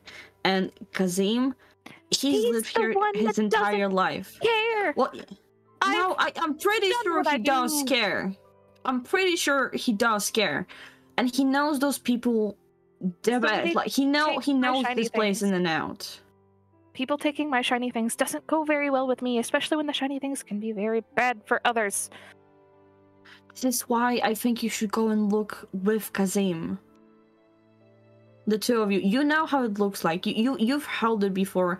You will recognize it. Kazim, he knows the people here. He knows the places. He knows where someone, if they stole it, might want to either pawn it off or whatever. Like why he me? knows this place. Like, I understand that I know it, but he also has seen it. He knows what it is. Why can't thing is, one of you go with him and be bodyguard? He can't go alone and i already will be preoccupied with Okay, what about the giant? The giant's not preoccupied. that's the thing Silus and i are going to um, investigate the whole terror lady the whole uh, you know terror sarah I want to investigate the terror lady. I think it'd be funny to put her in my dreams, and then she'll be in the plains, and then it'll be funny. She just kind of like goes off on her. own oh my thing. god sweetie it'll sweetie and then she'll get lost, and no one will ever know, and we'll be fine. Sweetie, breathe. Okay? Breathe for me. This is you're just winding yourself up. One issue at a time. I pro- next time we're gonna investigate. I promise you'll be the first one to go with us. Okay? But we can't split one to one. And I I feel like you and Kazim have some things you need to talk about. I will apologize to him. I'm not asking you to apologize to I him. I mean, you don't have I to do that. I will apologize to know. him if he tells me that he likes the song that I made for him. If he tells me that he likes the song, then I will go with him. I If not, then he it. can take one of the guards from the fucking area and go with them. Because I get nothing out of spending time with him because he doesn't like me. Look, if you do this for me, I will. An eye for an eye, right? Like you do some, you do this for me, and I, if you need anything, I will do something for you, right? If you want me to perform with you on stage next time, I won't say no. Okay? One walk at night with the feathered acquaintance, Yeah. and I get a song. Yeah. Agreed? She's gonna put out her paw like, yes. Uh, Nico hates making deals, but sure, sure, he will. He will grab your hand and uh, he will shake it. Okay, then it is agreed. I will Yeah. deal with the. You're gonna. She literally almost says it and goes, with Kazim. Thank you. And like it does like a little chill, and she's like, I'm going to go back to playing music now because brain. Silus, You Kazim, do that, sweetie. I assume that you guys are going to start coming downstairs. Yeah. Okay. So as you finish up your conversation and begin to play, you're welcome to roll a performance check if you'd like to. Like to figure out. Uh, that is a unnatural twenty. Okay. So you play whatever you'd like to play.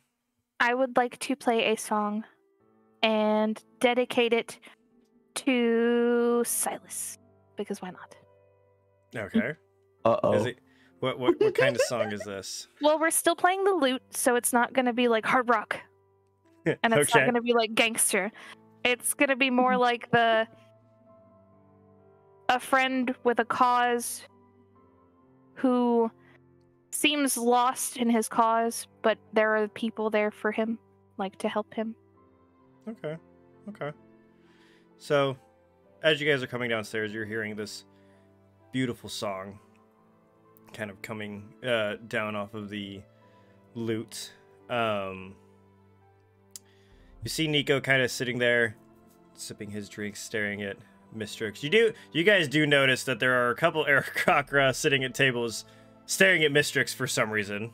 You're not sure why. You do see the dwarf kind of closest to the door, hiding his face, giggling, laughing pretty hard.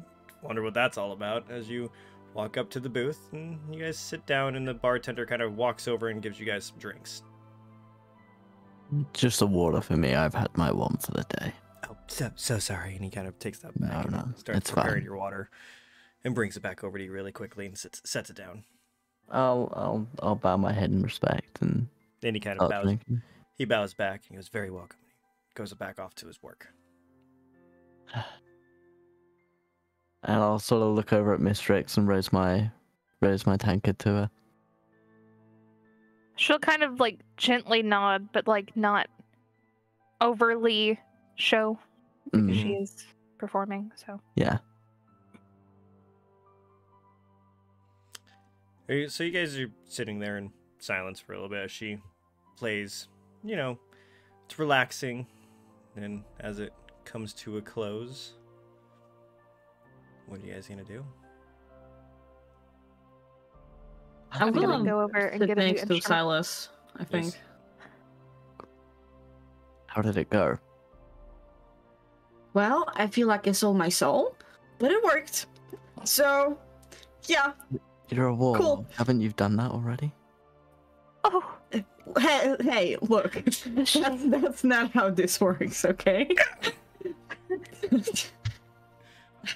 Wow, Why- that- What? Why is everyone? Why is the dwarf losing their mind over there? Don't, don't, don't, don't. she's so Mystrix is gonna walk up at that point and just change instruments and just look at Silus and be like, "I'm gonna fix that. Give me a second. Oh God. What did she Oh, do? no. What did you do? So Oh. we are gonna play a new song, and we're gonna use the drum, and it's No. gonna be a fun song about the fact that basically part of it will go like my fine feathered friend is an Era Cochran, and I've insulted him many times. It is not what I intended. With the best of misdeeds, I am sorry for all I have offended. Ooh. Okay, that's hella nice. It's an apology song, okay? With the drum. Kazim, Oh my god. 22. It's not terrible. it, it's it's pretty good. You got you see a couple made of, up on the spot. you see a couple of the people at the bar bobbing their heads. You see that a couple of the birds kind of they, they stop paying attention to you. You see the dwarf over there kind of enjoying his meal, drinking his beer, having grand old time. So you, Misfits made an apology video. yeah, yeah, and it worked. It for the first time in history, it worked. Look, I tried. Oh, sailors. Yes. I really hope they'll both not die tonight. I really do. Uh, They will be fine. We will be fine. Somehow I doubt that. Have I let you down before? Well, no, not necessarily, but our track record of being able to survive danger that we put ourselves into is not very high. So you know. when you're fighting to save the world, danger tends to find you. But if at any point it is too much, I know. we still have access to the portal. You can go home whenever you want. I'm already in this together with you guys. And I can't just let you guys get killed off while, what, covered in the house with Freya and Nicholas and because I, I can't do that. You guys do so much to help for like no reason. Like literally no one is making you do this. You you want to help and I want to help too. We'll figure out what happens tonight. And I'll say this to Kazim as well. We will decide our next move when we reconvene in the morning. And we'll go from there. We're planning way too far ahead. We need to deal with what's right in front of us. What's right in front of us is a missing jewel and a potential lead. Small steps, right? Small steps. Kazim, if you don't see us in the morning, we're going to the mine. That's all I'm gonna say for now. If we don't see you in the morning, I will search every corner of this block and the next block, and if I don't find you, then you will hear my rage. Start looking with the bard.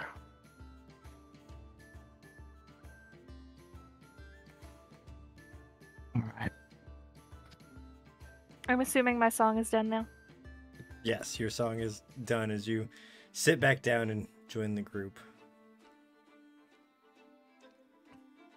I assume Nico told you the plan in some respect?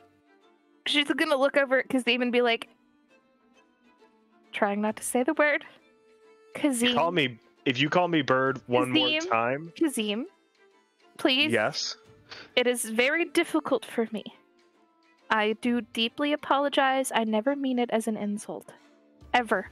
Do not intend it. 120% do not intend it as an insult.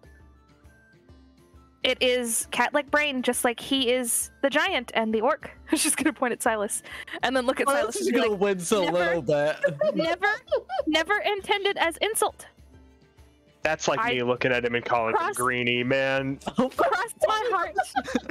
like, cross my heart, take my eye. I am a cat. You can pull me by the tail. It is not meant as an insult. It's And I am deeply, deeply, deeply sorry. it doesn't matter if you mean it to be insulting if it is insulting. I'm sorry for Mm. arguing with you. You've I- called I- me the cat before, so. Have I? Mm-hmm. No, I think that was me. I think I did that. Mm, I think he's done it once. I don't recall. If I did, that is my bad, and I am sorry. But I don't. I don't take it as insult though, because I am indeed a cat. It is kind of insulting to say that. Again, that's like me looking at anybody and just calling them by their physical appearance. Well, it is not intended, and I deeply apologize, and I will do my best to not do that again. And I am sorry for shooting down your ideas. It's it was unfair of me for immediately turning down your ideas. It's fine. I'm very scatterbrained currently, and I deeply apologize for everything, especially my very rash and impromptu interactions of cutting a random stranger and pilfering their horse. Just gonna like deep inhale at that one. and- I'm just gonna look around, make sure there's no guards anywhere. you can roll for perception. We don't have nearly as much leeway in this town as we did in 20! Rivers Run. We've got to be careful. yeah, there's was it natural?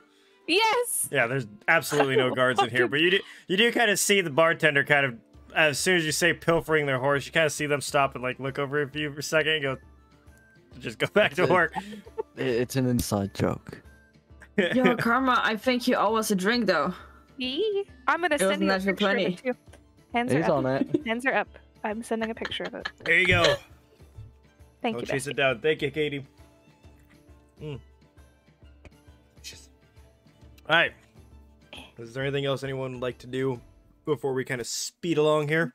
I'd like to order some fucking dinner. All right.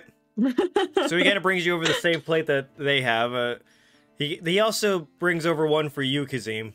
That is just a simple plate with some nice flank steak on it, some mashed potatoes, and a couple chopped up veggies and stuff.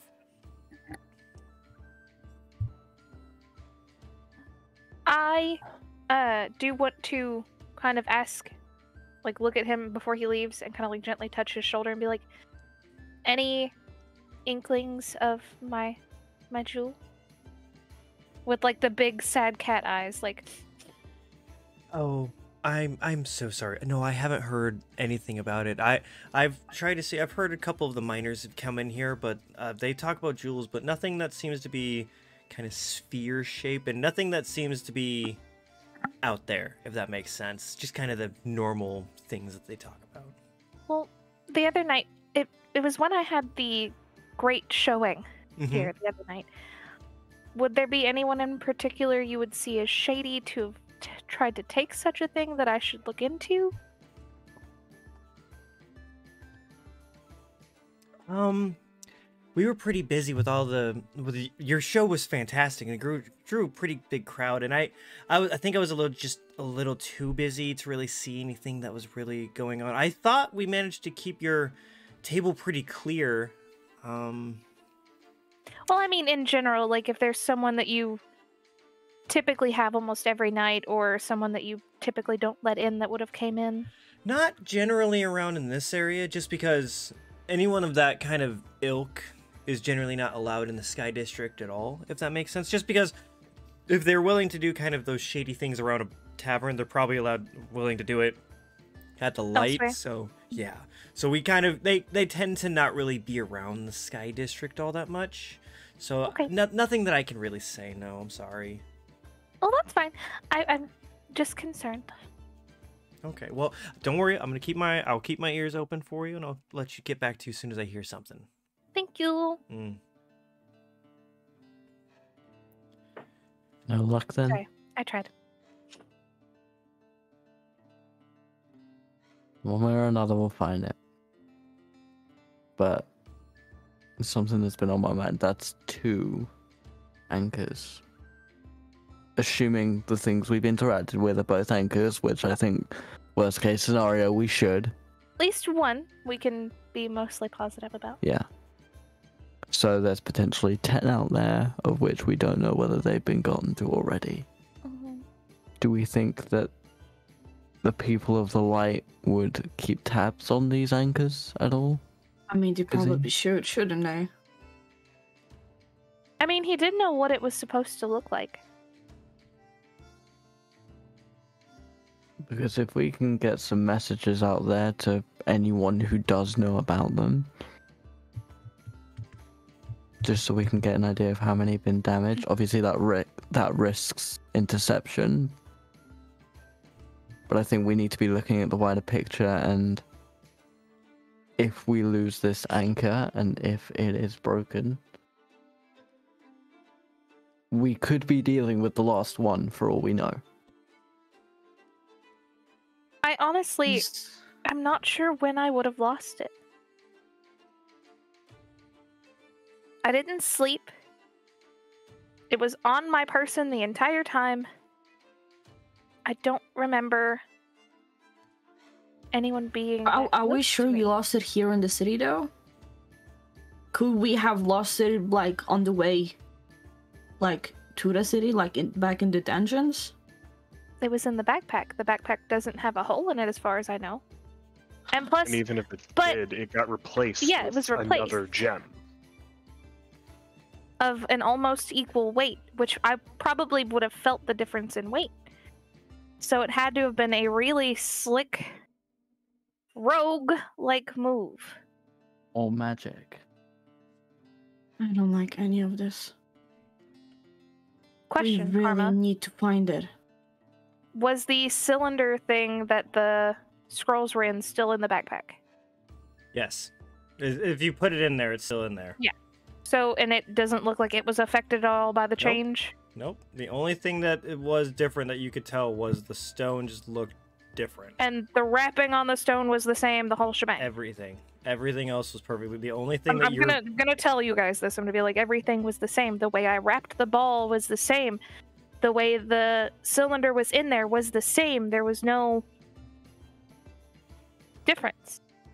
I think that no one physically took it. I think we're dealing with magic. Is that Kazima, are you aware of any kind of magic that could Did we sleep while we had the crystal? no? So it couldn't have been I any think kind we of like had dream one thing. first. No, because we got the crystal. We had the f- there was the fight. You ran ahead. I died. Spiders. Spiders, you- yeah. That no, that you died before the crystal. Yeah, but I mean, I Okay, died. that- but yeah, that's That all happened this morning, effectively. Yeah. Then we got to town. You did the performance, and then you went to talk to Taryn, I guess. No, pretty much- Didn't we meet you at the jeweler? Yeah, we went to the jeweler. We did go to the jeweler, but nobody was in there with us we other the than the jeweler's. you didn't touch the backpack. Because I that mean, backpack is different than my backpack. What Yeah. we, I mean, just the doppelganger and us, right? Mostly, Well- yeah. Well, aside from other creatures that are looking for anchors. So there's the people at the flow know about the anchors mm. because that's where Kazim initially learned about it. In a I'm assuming we're whispering all of this while there's. oh, someone absolutely. looking- I'm, I'm gonna say don't wanna for. like, I'm yeah. gonna say for a lot of this, you guys are trying to whisper Yeah. and keep it down. So- I'm not gonna. I'm not gonna make everyone Yeah. aware of what you're doing all of the time. Okay. Yeah, guys, uh, the anchors. The shiny rock that I had. yeah. Um. So the flow knows about it, if nothing else, because Kazim, you learned it about it there, right? Yeah, well, I learned about it in the flow when I was researching the astral sea. Um, Just kind of chills. Ugh. I mean, we've been here not for so long, right? But when we arrived here and, you know, spent some time, there was already rumors about presumably us. What to say that the doppelganger didn't get here faster or, God forbid, actually followed us and we didn't just notice? or if the doppelganger's already here because some of them used the teleporter and then sabotaged it. True, but I've as of following us, we kind of collapsed their entry point. So that's a little. I've got an idea. shoot. One of the scrolls that we have is a scroll of identify. hmm We might be able to figure out the make of this, who made it, and if we can find them in the city. I could actually take it to the jeweler. let's keep this small. Yes, I, but we, we've we already don't know if we the can trust the jeweler. Also, she's probably closed by now, right? No, but uh, Misty, you said you were going to see them in the morning. Yeah. Because we've. You, there's But I'd rather not waste a scroll if we can just go somewhere and be like, "Hey, do you know if this looks like anybody handiwork that you know of?" And if she says no, then you can use your scroll. But I'd rather not use it if it's not needed. We do know that the one we have right now is safe. It's literally on my back. We don't know The if one it- we have right now is a fake.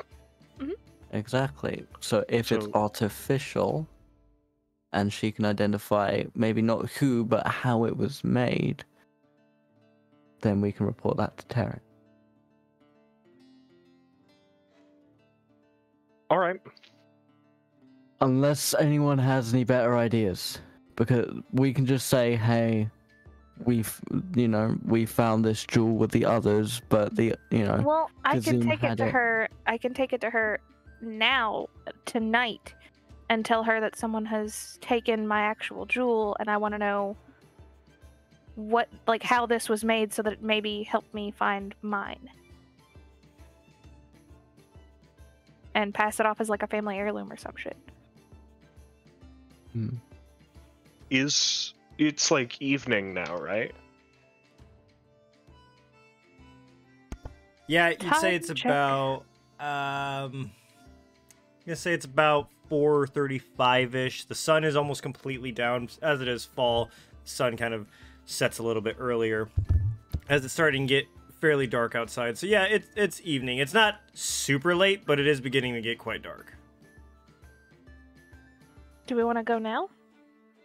And start think this grand adventure? bet. me and Nico don't need to make our way to the to our location until midnight, so we have time."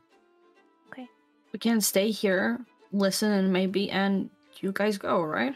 I don't think the last time we split up, it didn't go. well. Oh, well, if things go awry this time, um, I'm gonna just investigate. I'm gonna try not to be very physical toward anyone, but uh, my my sword kind of does the pew pew with the thunder and the lightning and good stuff. So yeah, you'll know. Let's go see if the jeweler's open. Okay. So you guys are you all going together? I think the plan like we is that should. yeah, Okay. yeah. So you all you Let's all go. you all get up and start walking out as you uh exit out and you you you do see that the bartender kind of look beckons you uh Mr. and goes I- I'll keep the tips until you come back. Keep them safe. And, thank you. and you start uh, walking out into the cool night air as you see the sun is almost completely set. You do see that there is still kind of a, a light purple amongst the entire sky as you see those clouds kind of rolling over those beautiful mountains on either side. You see that there are these very pretty, kind of almost golden uh, lights kind of in front of every one of these buildings, kind of popping up everywhere. Um, and it seems to almost illuminate the ground perfectly so you're able to see every kind of nook and cranny and seeing in the light you guys do notice that it's very it's gorgeous actually where it almost seems completely perfect as you begin walking up to the jewelers which we do actually have a name did i give you guys a name for it, No, It- it's No. the the enchanted setter that's what it's called Hmm. putting So- it in the notes. Yep, enchanted setter. So, as you guys are walking up, uh, you do see that it is still open. You see her kind of as you peer in through the windows. She's turned around at her workbench, still kind of frivolously, uh, furiously, kind of working away, probably on the gem that you uh, asked her to kind of break up and stuff. Do you all want to wait out here and just let me and Kazim go in, or We can do that. that way, if something looks suspicious passing by, tap on the window and we'll go. Absolutely. So Nico and Silas are staying outside. Yeah. Okay. So as you guys kind of enter, you hear the bell above the door kind of ring, and you see her kind of quickly turn around and goes, "Oh well, I wasn't expecting you guys so so quickly. I, I I'm not quite done with all that stuff yet." Oh no no no that that's that's perfectly fine. Um, I'm I'm a little concerned, and I was hoping to ask for your help in something.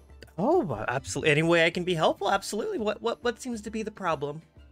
I have an heirloom that I keep with me that I keep in my little bag. Okay. It is very near and dear to me, and Mm-hmm. it has come to my attention that just after earlier today, it is no longer the real one. Okay. Um, I was wondering if if I show it to you, could you possibly help me, if anything, tell how it was made so that maybe I can find the person that took it? And she's gonna like get the little like fake teardrops, kind of. Oh, oh sweet, sweet. Yeah, I will do everything that I can. Absolutely. Bring bring it here. Let me, let's take a look. Let's take a look. Bring it. Bring it. Bring it. Okay. She's gonna like hand the bag to Kazim and be like, "Hold the bag. I'll get it out and I'll take it to her." Okay. She's gonna like gently reach in and take it in her hands, and and kind of keep it in front of her and look over her shoulder and be like, "And promise me that it stays with us because this is something that I don't want people to try to come after me for." Absolutely, dear. I I, I have a very strict client professional and confidentiality. Don't you And worry about it. Let, let's see it. Double check. There's nobody else in the building, right? No one else is in there. It, for, Okay. for you can tell, it doesn't look like many people ever go in there. Okay. I just wanted to be sure. Turns around with the the sphere. And you see her eyes kind of glow, and she's like, "Oh, wow!" And she kind of, "May I?" Be be very very very gentle. I'm very careful. It may not be the right one, but it, it's still precious. Trust me, sweetie. As she kind of picks it up and she goes, "It's a lot lighter than I would have expected. It looks to be purely rosemary quartz." Let's see. As she kind of quickly goes through a couple drawers and pulls out a couple different of those uh, jewelers uh, kind of eyeball eye things, and she looks over and she goes, "Oh, okay, okay. I'm seeing. I'm seeing. So." Here's something interesting I want to show you. You see how, look at the surface here, how there's no like abrasions or anything like that. Generally, if it was cut or ground of any kind, you'd see sharp edges or some kind of abrasions, but it seems to be almost perfectly smooth. So that tells me it's either an expert, but looking at it, she holds it up to the light and goes, it seems to be almost magically done Okay. which is peculiar. Um, from what I can tell, and she quickly kind of brings over this lantern and she goes, Here's an interesting little thing you might be able to not know. Uh, depending on where it grows, you can actually shine a lantern through it and it can show you where it might have come from because each place has different mineral deposits. And she kind of holds it up to the lantern and goes, It does seem to be one from around this area. If you can see there's iron deposits in there and you can see the big striations there. It's good oxygen and the minerals.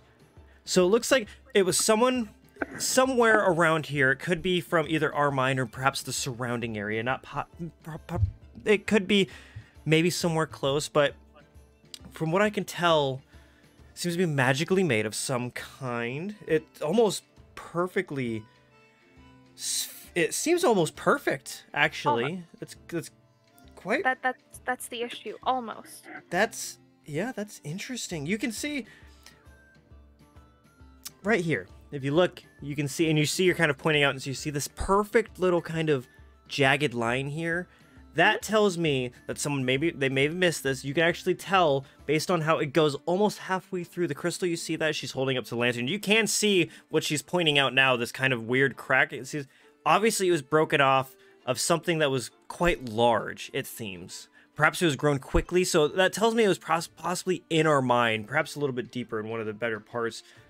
There'd probably be some kind of score marks, but I can't I can't tell you anything about the maker. As you see, there's with no striations or abrasions for me to really evaluate. Yeah, it looks like it probably magic of some kind. Uh-huh.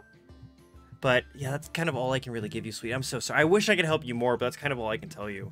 Oh no, no, that helps a lot. That's actually more help than you could ever know. No, I, I'm- I'm so happy. I, is is there anything else I could really do to help? Um, if you hear anybody talking about such a thing as this, since it's so oddly specific to have a sphere of this kind, would you by chance be able to tell the barkeep at, Oh, Yeah, at abs- the foot of ab-? Absolutely. And I chances are if it's if it's an actual heirloom i'm the main kind of jeweler around here so i'll reach out to all my other little friends around here and see if maybe they've heard of something of is there is there any kind of identifying mark that might help us It is- It is perfectly spherical. perfect okay okay so it's perfectly like, spherical Whereas, whereas this one isn't perfect and it has that slight off and it's a little heavier than that. Okay that that's perfect okay that's i'll i'll let i'll kind of reach my little feelers out for you if you find it, mm-hmm be ever so gentle and use gloves. Okay, yeah. We don't want to leave any prints or anything on it, so we'll make Yes. sure. Yeah. Okay, absolutely. Thank you so much. No, not a problem, not a problem. She kind of looks over at Kazim. Go. And did you need anything Do you know of any fences in the area? like for That kind of fence. selling Before illegal you- goods? Yes. In case they took it. Roll for persuasion, with advantage because you of what you just said. Okay, that was almost almost insane. Uh persuasion? Oh, God. That's a dirty 20. Ooh. You, you see her kind of kind of peek out the windows a little bit and she goes so i i don't generally deal in those kinds of things but you're not going to find that in the sky district i've heard these are rumors from my other kind of jeweler friends and i've heard this from meredith down at the mine uh, she told me that perhaps near the general store uh, they they might have some actually, so you might be able to look around there. He might be able to give you a little. Ask for oh, what was his name? Give me one second here. I I have an actual name. I swear to God, I just need to look for it. Ask for Figures F- when it comes to shape. Oh, yeah right. Sorry. Ask for Freyan. He he. I've heard he might know. How do you spell that? Just so I F know. R A. R-A-Y apostrophe N. Oh. Oh, you know him. Mm-hmm. Oh yeah. a- As he might know. Ma'am, what what is your name in case you go and tell the barkeep so that he knows to keep an eye out for you? My name is Zerel. Z E R E L. Zerel. I apologize for not asking sooner. That's very impolite. That's o- that's okay. How many? It's sometimes it's hard to keep track. I've met a million people a day, and you are tricks. pleasure tricks, and you Kazim. pleasure Kazim. By the way, I'm still working. I'm o- I'm actually might be able to finish yours a little bit early, Kazim, with all those little uh, rough diamonds. So just make sure you guys come pick those up tomorrow. And trust me, tricks, you're gonna love the design that I have for your little necklace. Thank you so much. Not a problem. Then with that, oh hey, I will All right. put the gem back in the bag and we will leave. Okay. Your friends are kind of waiting outside, and as we you guys are kind of walking out into the night air once again, see, meeting up with your friends to speak of what you're going to be doing next, I think we're going to take our break there. We're just past the mm. two-hour mark, and yeah, mm. we'll be right back. But I will leave it unmuted so that they can hear you guys, Hear our gossip and our mm. shit talking each other. Let's and go. I'll be back. Yeah. All right, anyway, and and we're back. sweet. As we were before, uh, Nico and, or no, Mystrix and Kazim had just walked out as Nico and Silus were waiting outside to relay said information, and that's where we left off. What is happening? So, uh, Kazim. Look, I actually said your name this time. She's gonna like applaud herself. um, you, uh, you seemed to have some sort of spark of recognition for the name. Yeah, he's um An old friend? An old fling? he's my buddy's dad. Oh, spicy. Let's uh Okay, so how do we want to start this? let me do the talking. Do we want to go there now, or do we want to fill these two in before we do this? Silus, yeah, Silus, where are we going? I, I'm assuming we're saying this to those other. Would you two. all like to go with us to go play with his friend's dad? Who is his Don't friend's say, dad? like- Where are we going? Why are we going Okay. there? So, You know shiny, my buddy- shiny rock. Hold on, hold on. Shiny rock. Magic made. Shiny rock not perfect. Shiny rock rushed. Uh, In English lady this in the store. lady in the store said that she will keep an eye out, but it is magic made. It has a very, very, very vital flaw. Um. Other than that, she could only tell us that it was from like around this area, like in the mines here, close by, within like just a short radius. Which I know isn't super helpful, but that also tells us that if it was rushed and made here, maybe, just maybe, when we picked up the other one, someone knew. And they were like, oh shit, let's make a new one and trade it out. Someone potentially knew we were coming and that we were taking the shortcut. Mm-hmm. Oh my god. Which leads me to believe that the doppelganger was probably already here. And he knew that by fucking up the portal, we'd want to take the quickest way. So we took the shortcut and we picked up the thing that he wanted and we brought it right to him. Or her. Whatever. Them. There. Gender neutral. So, who is this father of a friend? You remember Jadal, the foreman we met down in the mines? It's his Yeah. dad. And Well- we are going there because The lady in the store. fence. Yeah, the, he asked. Kazim asked the lady in the store if she knew any backwards trading that could be going on as to where the rock could be. There's a chance, albeit small, that whoever stole this wasn't looking be, to yeah. immediately destroy it, and they were just looking to pawn it. Yeah, may not actually be our doppelganger, but oh. It's a small chance, but it's a chance. And if he, he doesn't have the crystal, then hopefully he'll be able to tell us Well, if this there's- is any familiar piece. there's also the upside of this that they could also know where more shiny red, well, shiny rose quartz things are. possibly. Intel. We will we'll join you for that and then Nico, I think it best we make our way to the mine so that we're not late. Yeah. Yeah. But alright. Lead the way. Right. After you, Mr. Feathered Friend. So you guys are heading Did to. you just call him Bird? I didn't call him that. no, I look at Silus directly. So you guys are uh, heading to the Fre- heading to Freyan. Yeah. So you guys start wandering down as you see the kind of slow transition from the Sky District's kind of beautiful Aarakocra kind of architecture of the whites and the golds to the more kind of gray stone and more copper feel, kind of steampunky, more clockwork kind of ideal as you're going down. And you you see Kazim without like not even needing to think about it, kind of turning every corner a little bit. He he turns down this one street and you see this kind of what seems to be like a two-story building with a little bit of the second floor kind of sticking out. Perhaps there's a residence on up uh, outside, and you see that there's a uh, uh, what looks to be like a little sign with like a, a bag that just says Frayne's General Goods as you kind of walk up to it. Are you guys just gonna go inside? Okay. Assuming they do. I'm following his lead, so. So you see him kind of just walk out, walk into it immediately, opening the door, and you as you as you walk in, it seems very basic. There is are some very beautiful, uh, kind of carved bookcases holding all kinds of different kind of goods you might need. Uh, Nico, you immediately kind of recognize the kind of framework. It, it seems to be Mm. as like it came from the wood shop that was that you might have purchased Yeah. that boat from uh, earlier. And as you guys are kind of looking around, you, you don't really see anyone, but then you see a little bit larger, kind of more portly dwarf.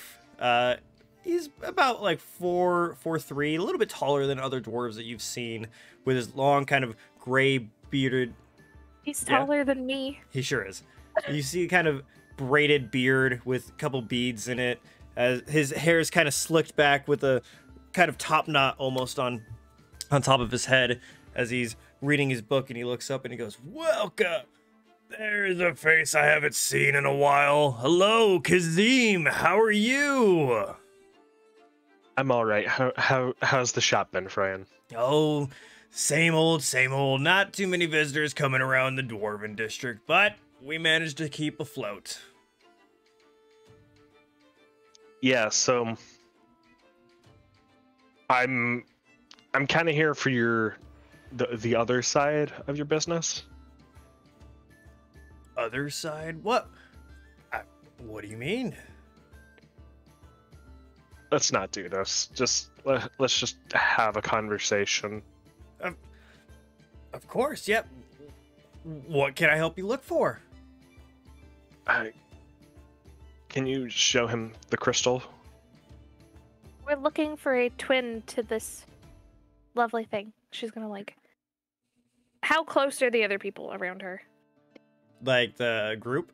Yeah. No, Uh, like like, are we like in a little area where we're not gonna like show everybody the rock?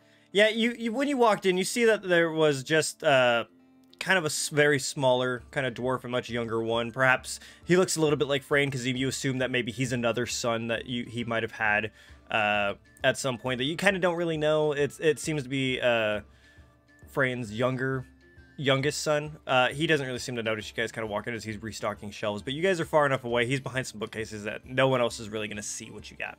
This guy doesn't look at all suspicious with the normal. He looks normal, dwarfy, not Yeah, yeah. doppelganger dwarfy. He, he he's got some like brown kind of dark eyes. You you do see he, he's very the only thing that might might stick out is that he's not quite as dirty as the other dwarves. Perhaps he doesn't work as much in the in the mines.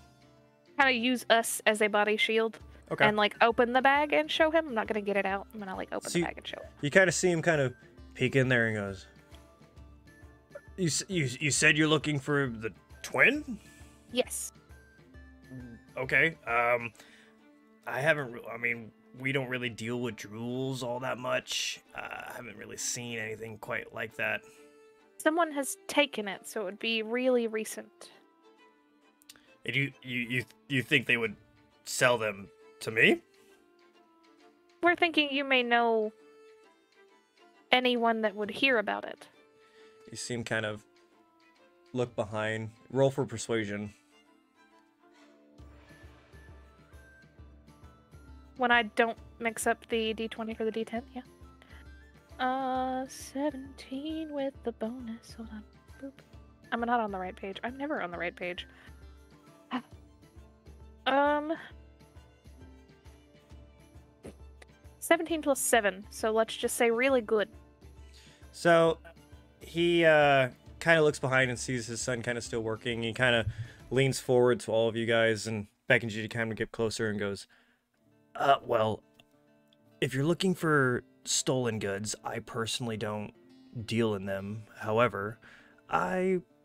And he kind of looks over at Kazim, kind of worryingly, may come into contact with a couple of goods that the, the ownership might be questionable. Here- We're not here to do anything to harm your business. This is strictly a want to find the thing that belongs to me issue. you you see him kind of like loosen up a little bit and he kind of goes I haven't personally seen anything like this, but if it's been stolen and been sold, you probably want to go down to the warehouse area. Uh, you might want to talk to a man called Julian. He he's a little bit young. He's much younger, and he looks over at Kazim. goes a little bit older than Dredal, and you'll see him. He's got a red beard. He's got red hair, a little bit tanner than the rest of us. He seems to work mainly just down there. You might want to go speak to him. He he kind of has contacts that would be interested in things like that. So maybe he might have seen something.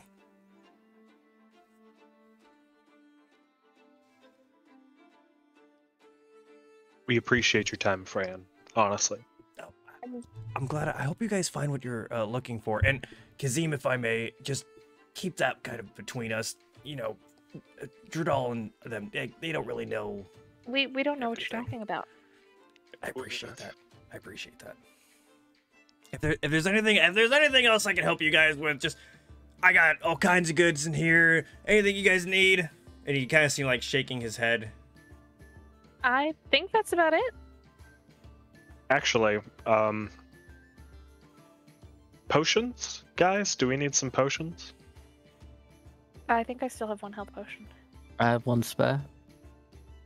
Uh, Fran, any chance you've got greater healing potions on you? Ah, those are those are kind of hard to come by. There's not too many uh, herbalists around here. I've, I've got a couple regulars, uh, maybe one or two, just from passing traders that might have had extras, but I don't I don't really have anything like that. We don't really have alchemy all that much around here. Yeah, I, I understand. Um, can I get just a couple of those potions? Sure, I've got I've got uh, two of them, and as a friend, I'll I can give them. All, I I usually sell them for about fifty. I'll give them to you for about twenty five. If that's all right. 25 GP? Yeah. You got a deal. Fantastic, thank you very much. And he hands you just uh, two regular health potions. Sweet. If you do hear anything, would you let me know? I'm staying at the feathered bed. Oh, a friend of Kazim, I'll, I'll let you guys know anything. Absolutely, Okay, thank you. not a problem. Hey, and uh, and and Kazim, I think uh, I think I saw Jardal and uh, Sarid. I th- think I saw them going into the uh, bar across the street. If you're interested in seeing them, And Terran? Sarid. I think that's the name Oh, I gave him. Sarad. Yeah, Sarad. Okay. Um, Or that Oh. name is the other guy, right? he's That- the guard. Yeah, he's he's his other uh, childhood friend. Okay, not the guy that I cut. No, Good. cool. Little frightened. Let's uh Let's go talk to Julian. All right.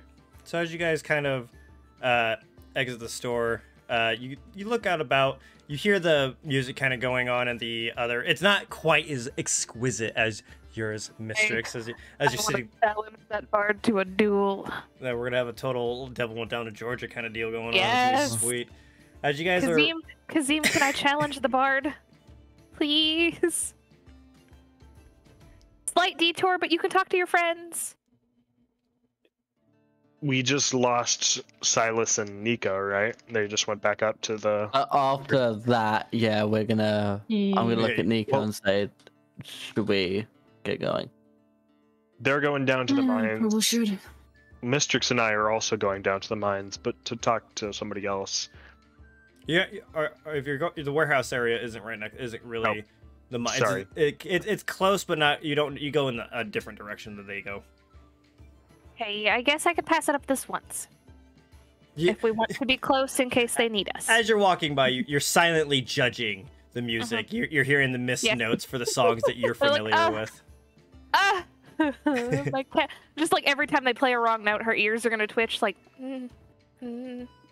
All right, so we'll, we'll start. We'll start with you two as you guys say your goodbyes. They kind of start wandering off, and Kazim, you start heading towards the uh, warehouse area. You see that the stone and copper kind of buildings go into more kind of industrial kind of look. It kind of loses that copper decals and kind of going for more wooden, obviously for more structure rather than it is for you know prettiness of it, uh, more functionality than anything else. And you start walking down, you're seeing uh, a couple of different larger kind of buildings being built with these huge just wooden doors that kind of slide open perhaps to make it easier to bring things in and stuff like that and you're seeing a bunch of different people kind of moving boxes around uh, if either one of you want to make an investigation check or a perception check to see if you can find julian anywhere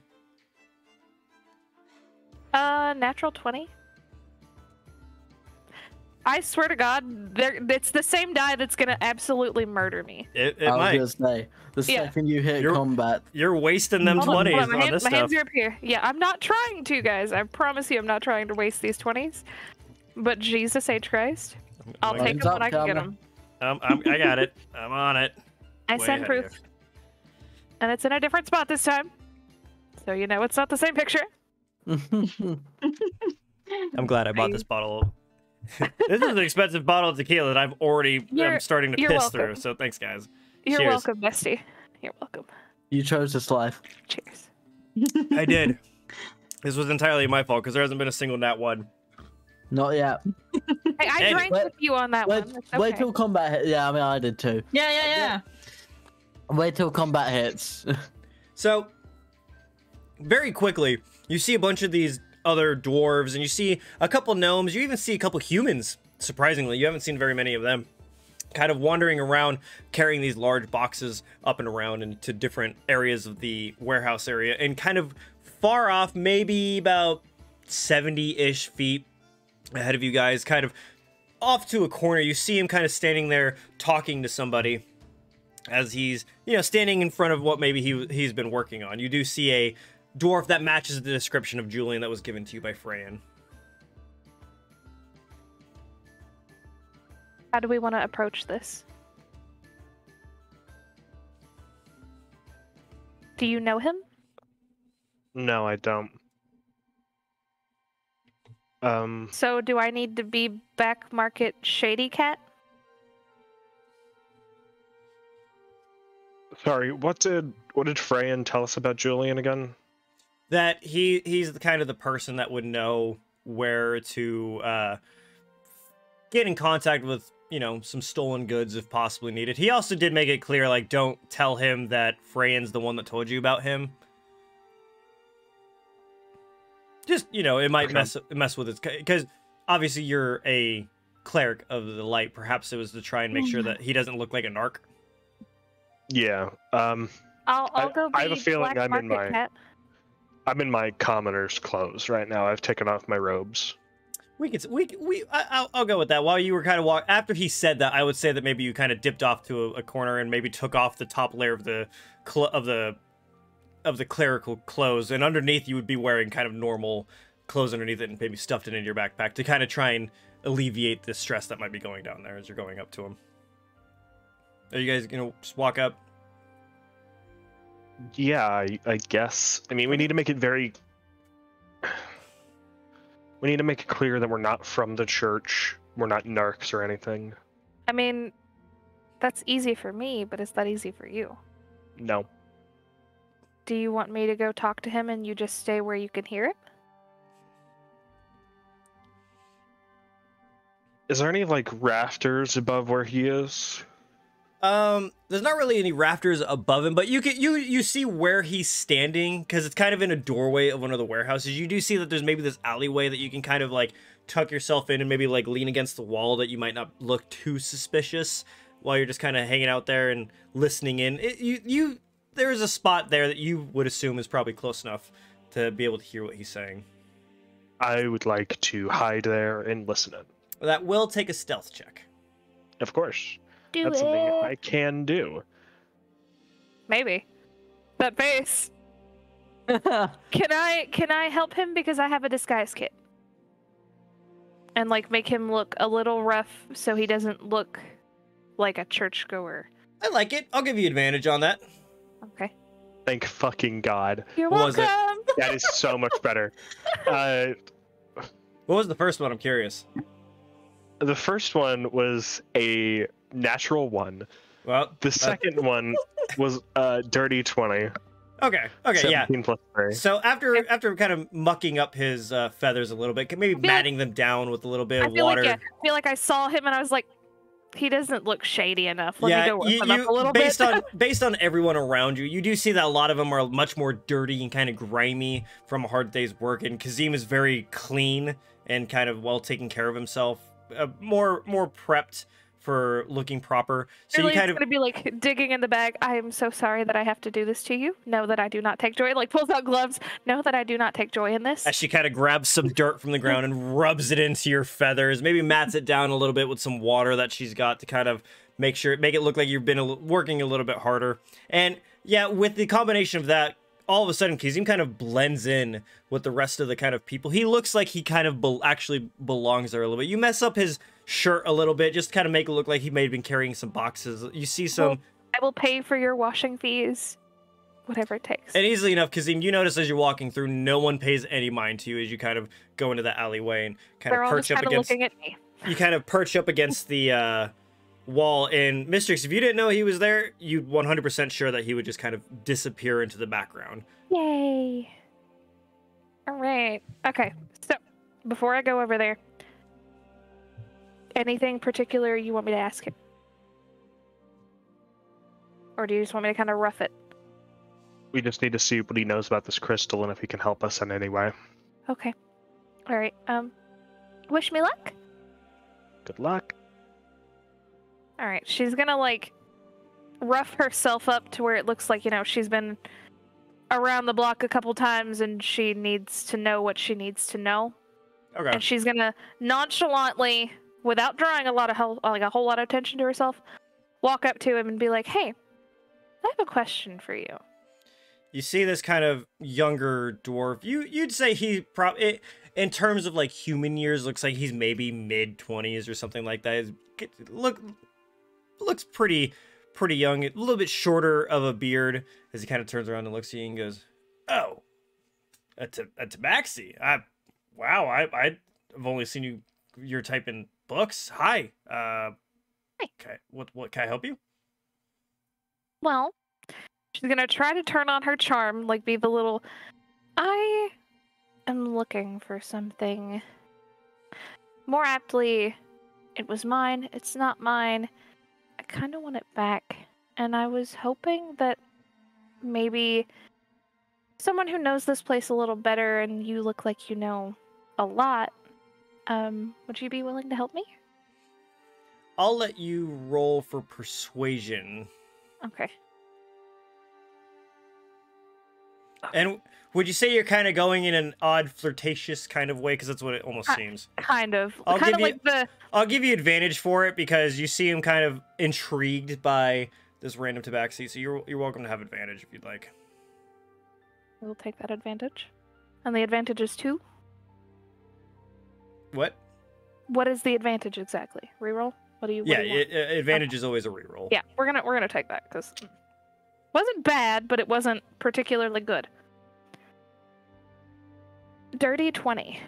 Okay, so you kind of see him, you see him almost like kind of sucking his gut a little bit as you're saying that. And he kind of leans against the door, and when she's in front of him, he goes, "Ah, I see. Well, you've come to the right place. I think I might know uh, a person or two that might be able to help you. What, what, what kind of thing were we missing? Maybe I, maybe I've seen it. I have I have something similar to it that they've tried to replace it with. Okay. Ah, the old, the old switch. I, I see. yeah, Yeah. yeah. One of those. Let me see. But Let, you know, let's see what they a- gave you. A Let's see. conveyor can always tell the difference in what they prize and what they don't. Naturally, naturally. They probably thought they were slick. Let, let me see it. Let me see how bad it is. She's gonna be like, "Well, can can we go over here? Like a point a little closer to the alleyway, but not like too close, where they're Yep. away You kinda see him- people." You kind of see him like look at the dude he was talking to. He goes, "I'll talk to you later. Go on." And he kind of goes on over a little bit closer to the wall. He kind of leans up against the wall and goes, "Let's see it. Let's see what you got." No, no, don't worry about any of these people. They don't. They don't give a shit.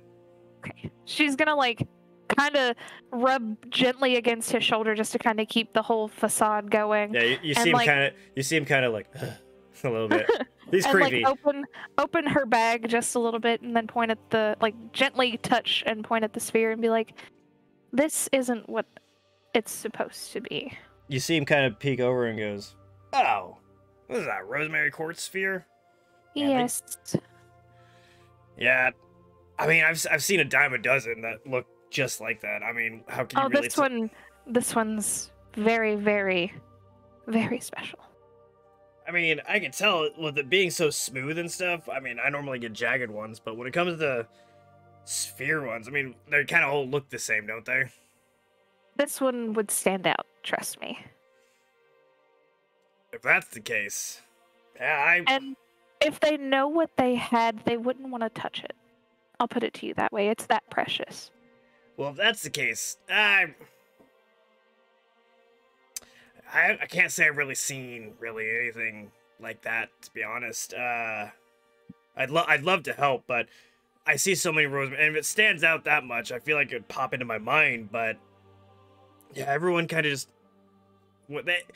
You gotta keep in mind what people can bring to me. It looks a lot like uh, they just came out of the mine. They maybe swiped it while they were on work and maybe brought it over to me. But I've never seen anything. I've never seen it kind of that sphere. It is crazy. It looks like there's not even like a chisel mark on that. How the hell did they do that? That's insane to me. If it helps with anything, it they're made with magic. Ah, yeah. Most magic items I get or I see are generally like uh, magical items, like you know weapons and clothes and stuff like. that. I, I generally don't Yeah. see stones all that often. I, it doesn't. It's not ringing any bells for me, unfortunately. Um, I mean, I can I can get my uh, get some feelers out to maybe some people that might have seen that, but generally, if if you know if it got stolen here or maybe Yes. around, oh, so yeah, I'm generally the. Uh, and you kind of see him kind of puff out his chest a little bit, almost bragging. Like, "I'm, I'm generally the person that people will come to see for this thing. There's not really many other people to talk to, and if I haven't seen it or heard about it, chances are they probably haven't sold it." Would you do me the honest favor? And she kind of like bats her eyes and be like, "Could you tell me a couple of your top sellers?" Kind of hinting at the people that would steal things and bring them to him, so that maybe I can ask them if they've seen it. Roll for persuasion with advantage. Oh God. I don't need the advantage. I got an 18 plus 7. Well, You guys- Apparently, I'm good at this. You see him kind of look around and goes, uh, Well, when it comes to things that come from the mine, you might want to talk to Jadal. He kind of brings me some things. Um, when it comes to things that I might have been pilfering off some travelers, no, no offense, but you kind of stand out as not from around here. We don't see, we don't get. She's gonna kind of like brush her, like brush her hair a little bit and be like, "Yeah, I know. I'm sorry." when it comes to like travelers and stuff, you might want to talk to Arendelle. He's he's you'll you'll find him over by the uh over by the bar, kind of by the general store. He he kind of he hangs out there quite a bit. He's a he's a half elf. Kind of sticks out a little bit, but you he says he's half elf. Pretty sure he's human. He he just likes to tell everyone he's half elf. You he he likes to think of himself as kind of the roguish type. He he he kind of I think he's kind of a con man, but Would you of- say he's slick enough to take it off of my person without me noticing? I haven't seen him work. He's brought me some pretty cool things, but I've always assumed he's just kind of gambled it off of people because he, he he gambles Fair. a lot. But uh, when it comes, he's kind of the only person I've known to bring me kind of stolen goods from like people or travelers and stuff. So you might want to go talk to him. Okay. But Alright. i- if it was him, he generally would have brought me something. Because when did you do you know have any idea when it might have gone missing? this right around noon today. Yeah, he probably wouldn't have brought me that quickly. He's probably waiting for the heat to die down. So if he does have it, he, if, if he did take it, he probably still has it. Um, if he does bring it to me, is there some place I can like contact you, let you know? Well, actually, I'm staying at the Feathered Bed, which is the place where it was taken from. Ooh, ritzy, ritzy. Okay. Well, uh, I'll tell you what. Uh, what what's your name? Tricks. Trix. I'm I'm Julian. It's a pleasure. Pleasure's mine. You you grab his hand. You do feel this kind of for certain. He gives this kind of creepy, yeah, kind of feeling to him. He goes, "If I find anything, Trix, you'll be the first one to know." Why, thank you. And might I say, you look rather dashing. You seem kind of blush, and he goes, "Well, I, I mean, thank you. Well, I'll let you get back to the honest man's living. Of course, of course, Trix. You have a beautiful evening, almost as beautiful as you." Oh, well, thank you. She's just gonna kind of flick her tail and sashay off. Yeah, you see, you kind of like halfway peek over, and you see him staring at you as you walk away. He is infatuated with you. Uh, Kazim, you picked up all of that. Nico has competition. No, I'm kidding. Speaking of which, as you guys are kind of, wan- I'm assuming you guys are kind of wandering off after getting that information. I'm probably gonna I like mean, Nico's- circle around. Okay. Yeah, so you, you kind of go him. around to Ah. talk to Kazim. So Yeah. While you guys are kind of relaying that information to each other, uh, Nico and Silus, you guys are kind of leaving your Mm. friends to kind of do their own things, you guys are heading to the mine, correct? Yep. Yeah. So as, as, you, Nico as you just guys, follows after Silus. so you kind of walk a little bit back towards the way Kazim was kind of going down the main road, and as you're walking down towards the mine, you see uh, an, Ar- an the Aarakocra that you talked to before, but he's not wearing his scribe garbs or his uh, light garbs anymore. He's uh in more normal clothes, and you see that there's two other like humans that are with him that seemed pretty heavily armed uh, along with him as he's uh, standing there, kind of waiting for something. And you assume that, you, based on the face and his feather pattern, you could tell that that's Terran waiting for you Yeah. guys.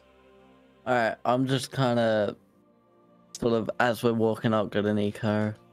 Let's keep our guard up. You're not gonna kill you, right? Like you didn't say something really fucking offensive to him or something like that, right?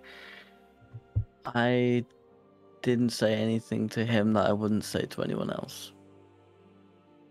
Ah. cool, cool, yeah, cool, cool, totally, yeah. Let's go. Yeah.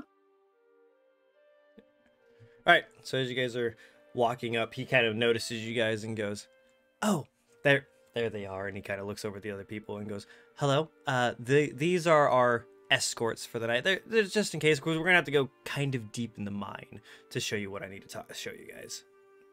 He seemed Oh, kind of yeah. You guys both notice that he's kind of looking around you the whole time, seeing if anyone's kind of noticing him. Yeah. and he goes, "Please, please, let, let come this way."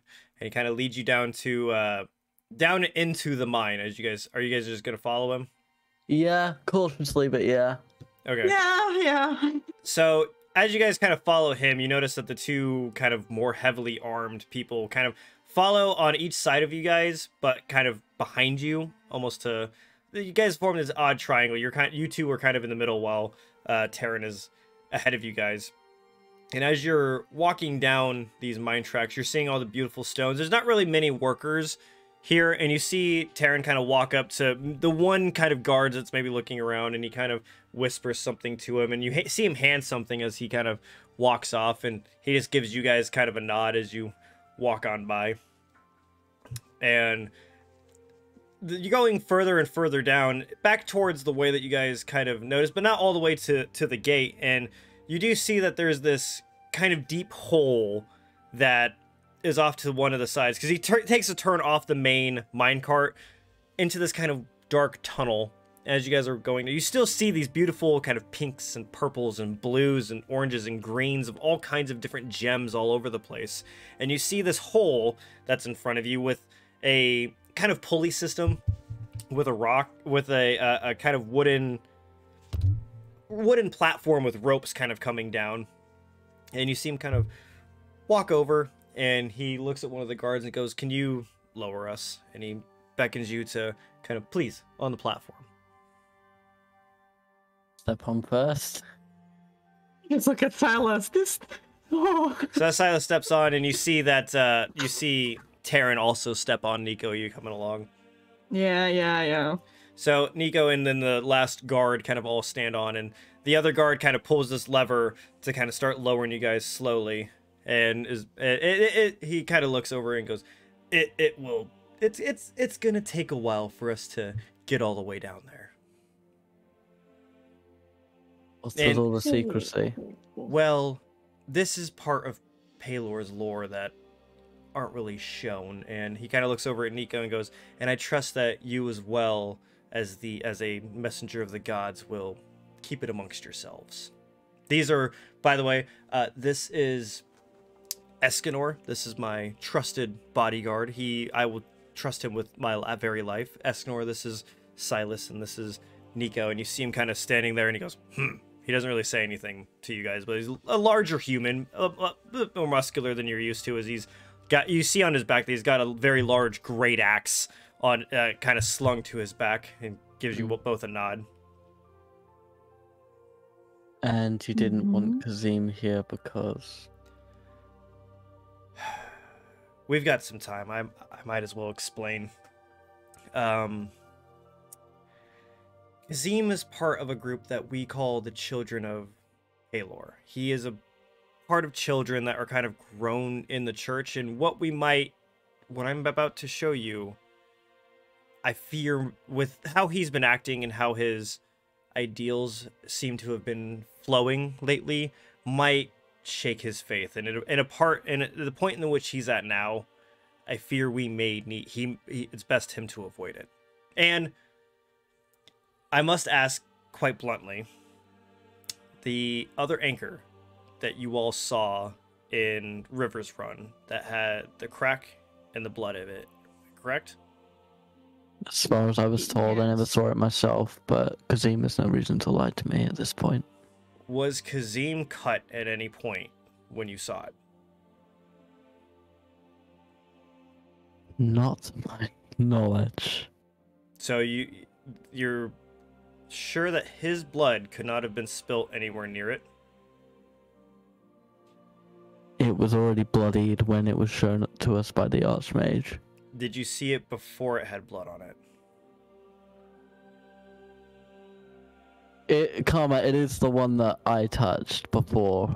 It sure is, and it did not have blood on it before you guys saw I- it again. I can tell you there was no blood when we first saw it. When you first saw it compared to after it was after you saw it a second time because I assume you I assume you guys didn't keep it on you otherwise you would know where the blood came from, correct? No, so there was an altercation with some doppelgangers and it was stowed away, Okay. thought to be safe. Okay. We were proven wrong and it was recovered, damaged, and then planted on Kaz- in Kazim's room. Kazim did not put it there. He was with us the entire time. Everybody in the group was with us the entire time we were out of town. Between any point of you finding it the first time and finding it the second time, was Kazim struck and blood come out at any point? He was struck. Okay. Whether his blood came into contact with it, I don't know. The reason it was cracked was because the blood was coming in contact. And the only reason it would have been cracked is because the blood of Pelor was spilt upon it.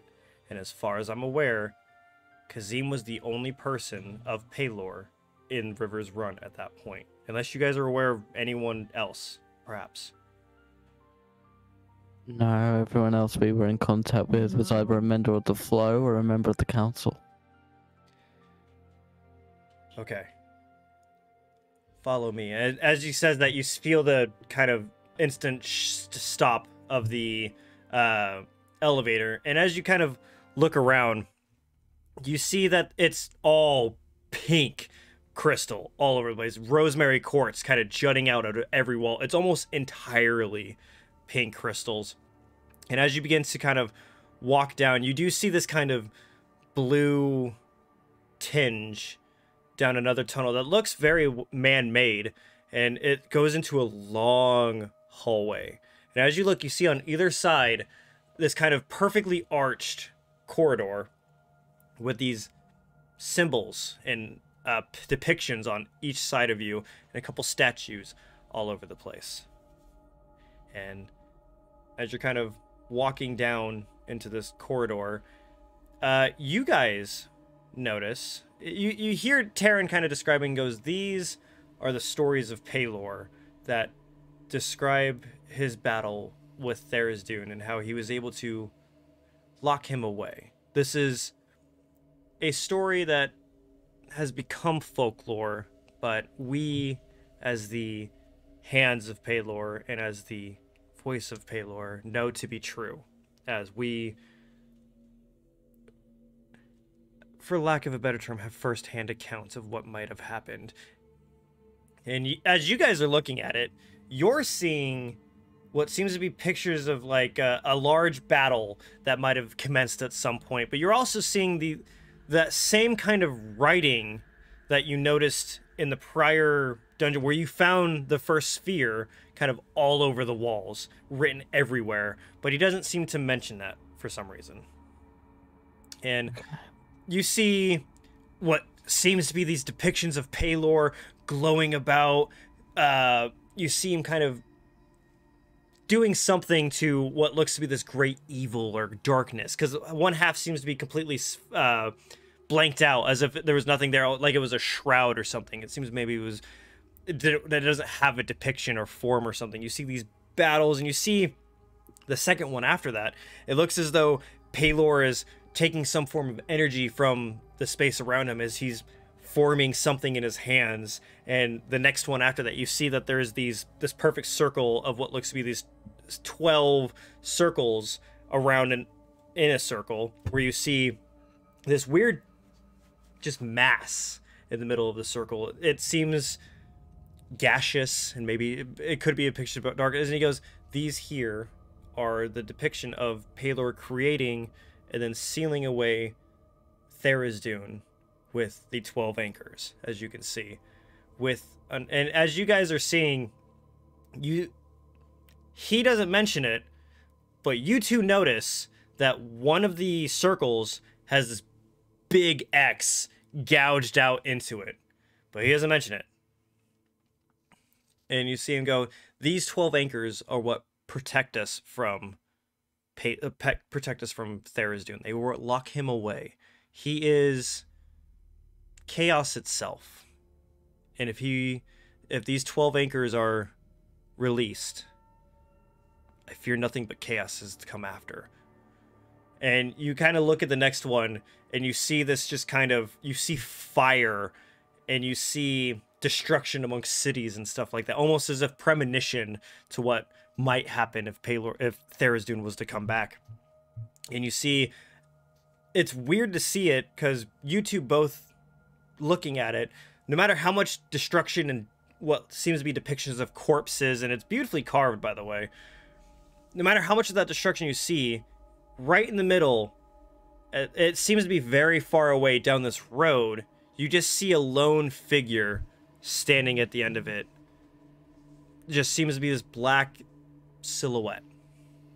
That silhouette in the depiction.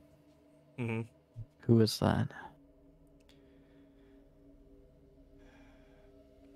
That is what keeps you kind of see him kind of struggle for a minute to find the words for it and goes that's the person that releases Tharizdun from what we can tell based on these. And with his blood being used to release the anchor I fear that may be Kazim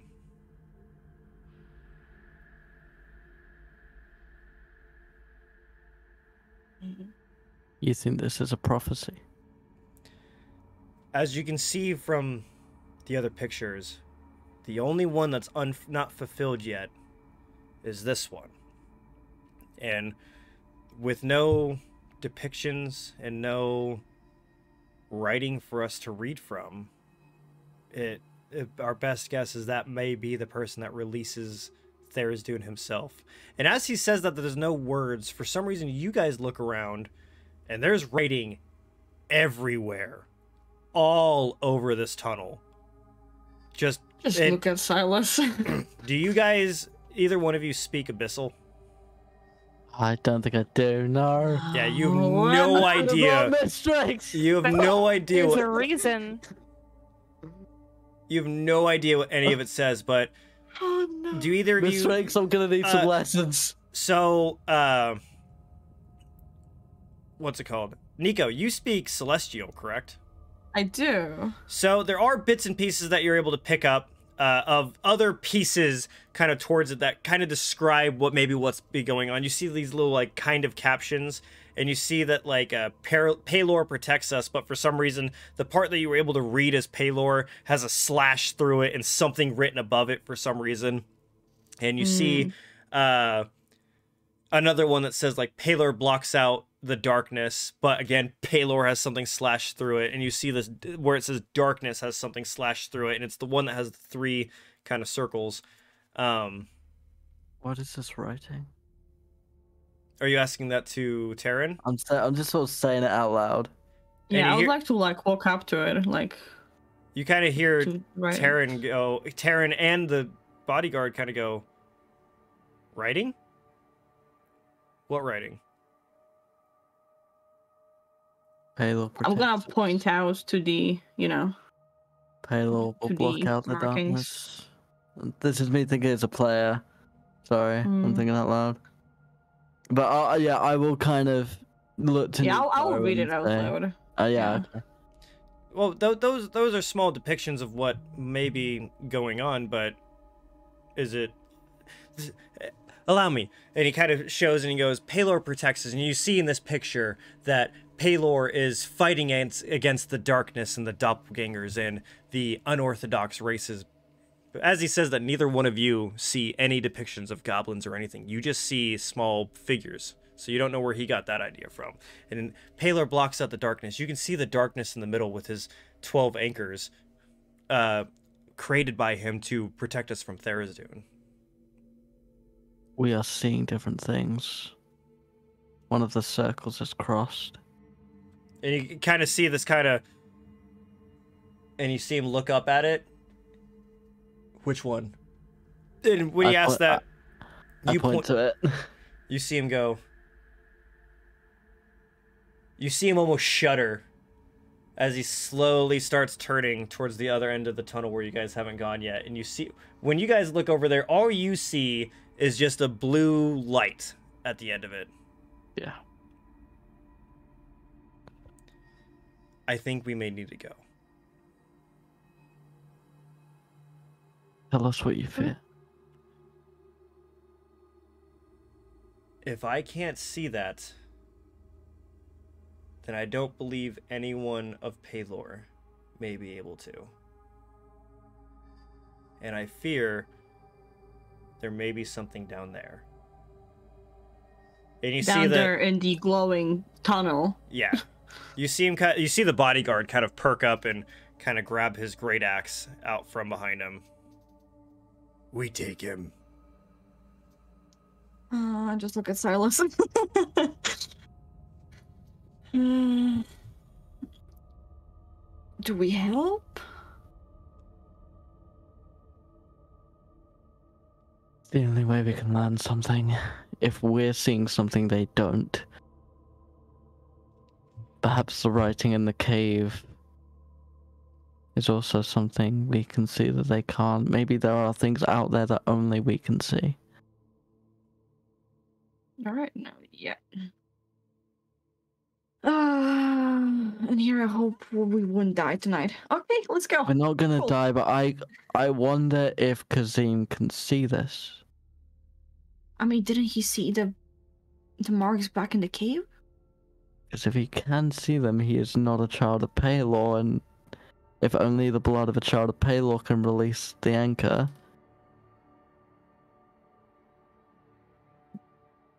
Hmm. him seeing the writing would clear his name.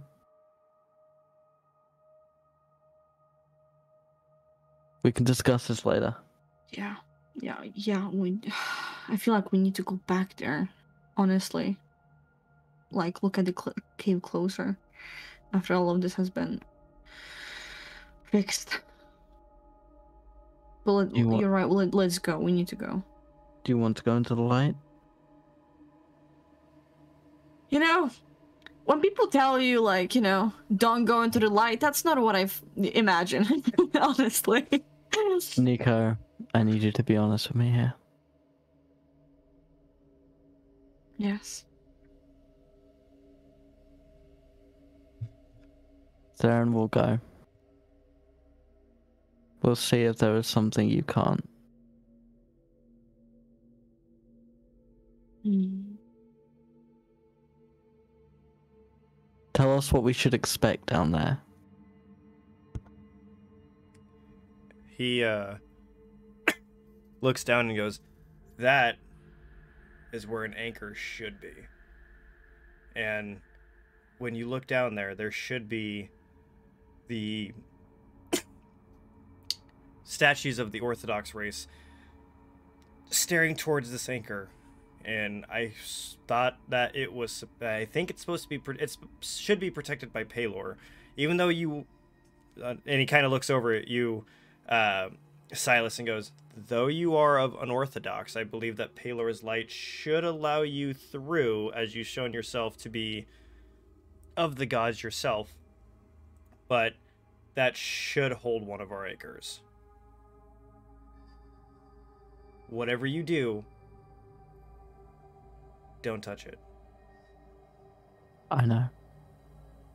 And he kind of looks over and goes, "Go with them." And Escanor uh, pulls out and goes, "Of course." Alright. I'll start walking. All right, what's marching order? You know what? Nico, go first. All right. If he's gonna die, if he's gonna die, he's gonna die with pride. Be my fucking guest. All right. I'm not wanna- taking that wanna say- responsibility. I want to say I wish you guys luck, and uh, next time don't forget your loyal companion, the cat. Look, That is all. look. look, I, I, at this point, I feel like we all need to take some language classes. Y- yeah, like uh, Duolingo, uh, please. I, yeah, No, the cat doesn't speak abyssal, guys. yeah, we no, that's Anyway. what I'm saying. We need to learn how to speak abyssal if this is going to be a recurring thing. While we You're do, only going to have so many spell slots, we may not have time for rituals. while this is happening, Kazim and Mystrix, what are you guys up to? Oh. Um, Well, you heard everything that he told me. I sure did. I think we should go talk to the guy that he mentioned. Uh, the half elf, or your friend Tradal? Not Jardal. Um, The half elf. The half elf is the only one that really makes sense to me, because he stays in the area where the taverns are. I don't know. I feel like if you talk to the half elf, though, he might immediately get spooked upon recognizing you. Okay. That is, if he actually stole it. How about you go up to him and try to convince him to steal from me? Why? Think about it. He's already stolen it from me, he won't ask for a lot of money because he knows it's the false item.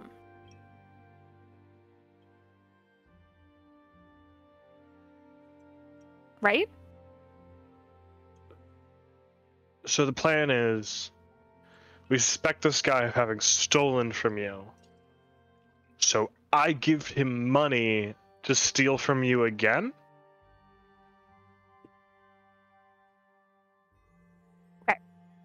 So my plan is that you try to convince him to steal from me and try to like flesh out if he seems like he's already taken it and is giving you low balls because he knows that you're not going to get what you want. But you could also not say that it's me and tell them that someone has the object that you're looking for and you're willing to pay a pretty penny if he can get it to you. And if he has it, he'll want to know how much you're wanting to pay, and he'll probably, if you give him a high enough number, be like, oh yeah, here it is. You kind of get what I'm trying to say here? Not really. I feel like I'm I feel like I'm speaking gibberish to you because it's my cat brain. I I'm still not sure what telling him to steal from you will accomplish Okay, because he could Skip always if you're telling him you want the object and you're going to pay a pretty penny for it, if he can find it for you. okay. If he has already taken it, he will know where it is and he will be extremely willing to get money for it, right? I guess. Does that make yeah. sense? Yeah. Okay. Or he'll tell you possibly who he thinks has it or try to find it. Use him for what he's good at, is what I'm saying. Let's give it a whirl. And I'll go play a song and look unsuspicious and. Yeah. First, So, well, Let's- first I'll help you find him, so, yeah. know. Okay, so you guys start making your way back towards the uh, the the leaky tap is what they called it. What he called it, the bar that, as Kazim, you would know that's the bar across the street from the uh, the general store. And as you open up, there there is quite a few people in there. You'd say it's about 15ish. It's not nearly as nice as the uh, feathered bed. You look around and there's a lot more wooden. There's a wooden tables kind of strewn about. uh, Much more cheaply made chairs as well. Not as beautiful as other places you've been. There's a bar that seems kind of rough construction, but it is serviceable for what it's used for.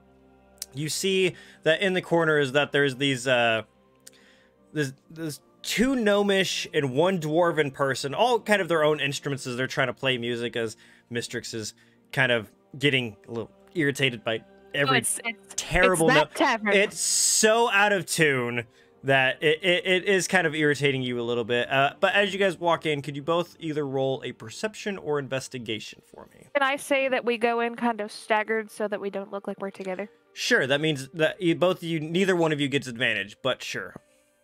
But it'll also look better if the plan Yes. goes. Yes. Does that work for you? Yeah. Kazim? His name? I got a 13. Okay. Okay, apparently works for him. All right. I got an 11. So. uh, Nah.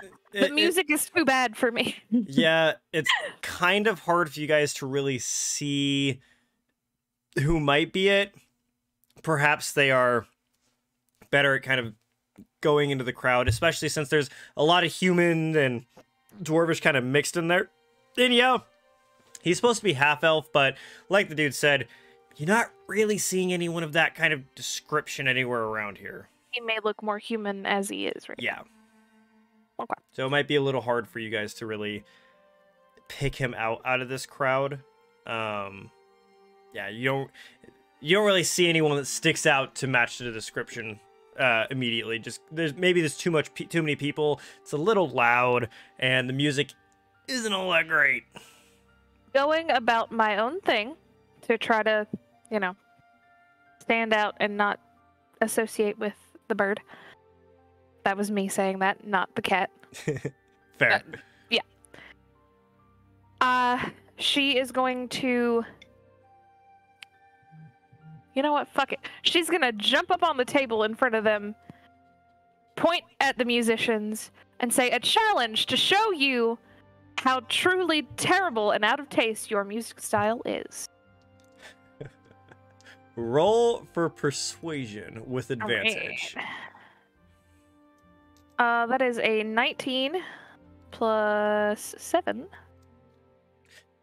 That Glorin? I hear that, Brolin. How about you, Darren? Oh, I do hear it. How dare she? How dare? How dare? How dare she? Except as you hear all three of them say it at the same time. All right. So, what we're gonna do is we're gonna do three rolls. Kazim, you're watching this all happen, by the way. Uh, She's gonna like pull at her tunic and pop her neck and then pull out the lute, but then have her tail kind of like pat on the drum. She's like, since you get three, I get one and a half. That's fair. That's fair. Yeah, that's fair. so we're gonna do uh three best out of three performance checks and see who does the best. Let's rock, paper, scissors this shit. That's right. All right. We're gonna start with the first one. So, there. That is a twenty-two. We draw, good sir. Oh, you got twenty-two too. We draw. Weirdly enough, you both start on this kind of folklore kind of song that sounds very reminiscent to other songs which ones might have heard, like such as Devil Went Down to Georgia. He was looking for a soul to steal. And as you guys are kind of playing it, you guys are in sync. It's perfect. You guys sound exactly the same. It's amazing. As you go for that, what's the second roll? How about 23? 24. Okay, so you you guys are all starting to try and pick up the pace and see if you can outpace each other, but you managed to kind of get together as they all of a sudden you bust out this kind of solo with the drums and this perfect harmony that it, it's very close. And Kazim, you're noticing this too. You're seeing everyone turn and watch this person, watch these guys as they're doing. If you want to roll perception for me,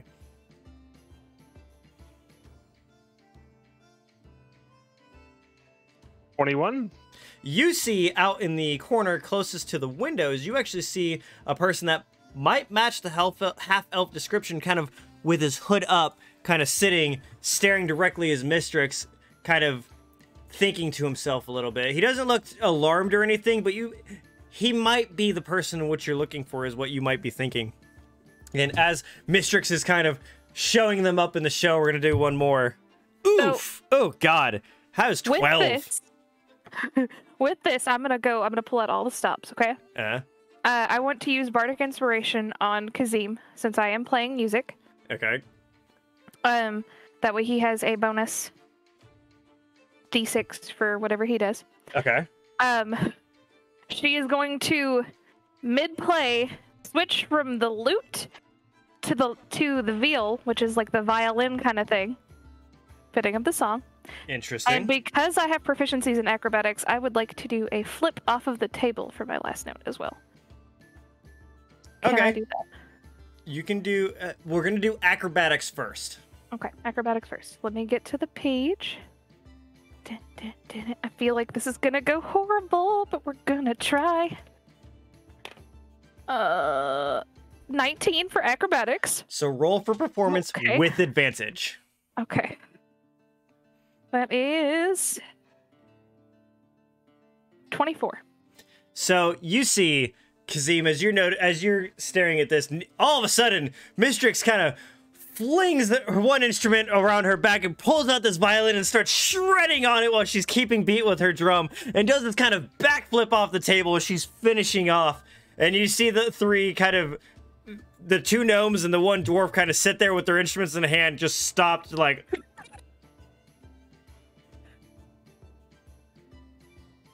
Did you did you did you see that? What? What just what? With that, Ugh. she you see will do her bow. you see them all kind of put their instruments down and then you see them kind of all get on the ground like we uh kind of bowing to you as they have no idea what the fuck just happened. They've never seen anything like that. Teach us, teach us, teach us. Loki, welcome to the cat stealing the show. anyway, Kazim, what are you doing while all of this is happening and you you've managed to think of who you think your mark is? I'm. I'm gonna just. You said he's leaning up against the wall in a corner. Yeah, you see him kind of close to the door, kind of leaning up against the wall. You see a little side table next to him with like a beer, and you see him kind of sipping on it every once in a while, staring at Mystrix. I'm gonna grab a drink and I'm just gonna stand next to him. Okay. Uh, anything else you're gonna do? I'm just gonna strike up some small talk with him, get his attention. Okay. So you kind of see him leaning against the wall. Do you say anything specific to get his attention? Crazy show, am I right? Uh, yeah, I, I, I mean, I've never seen anything quite like that. So, um.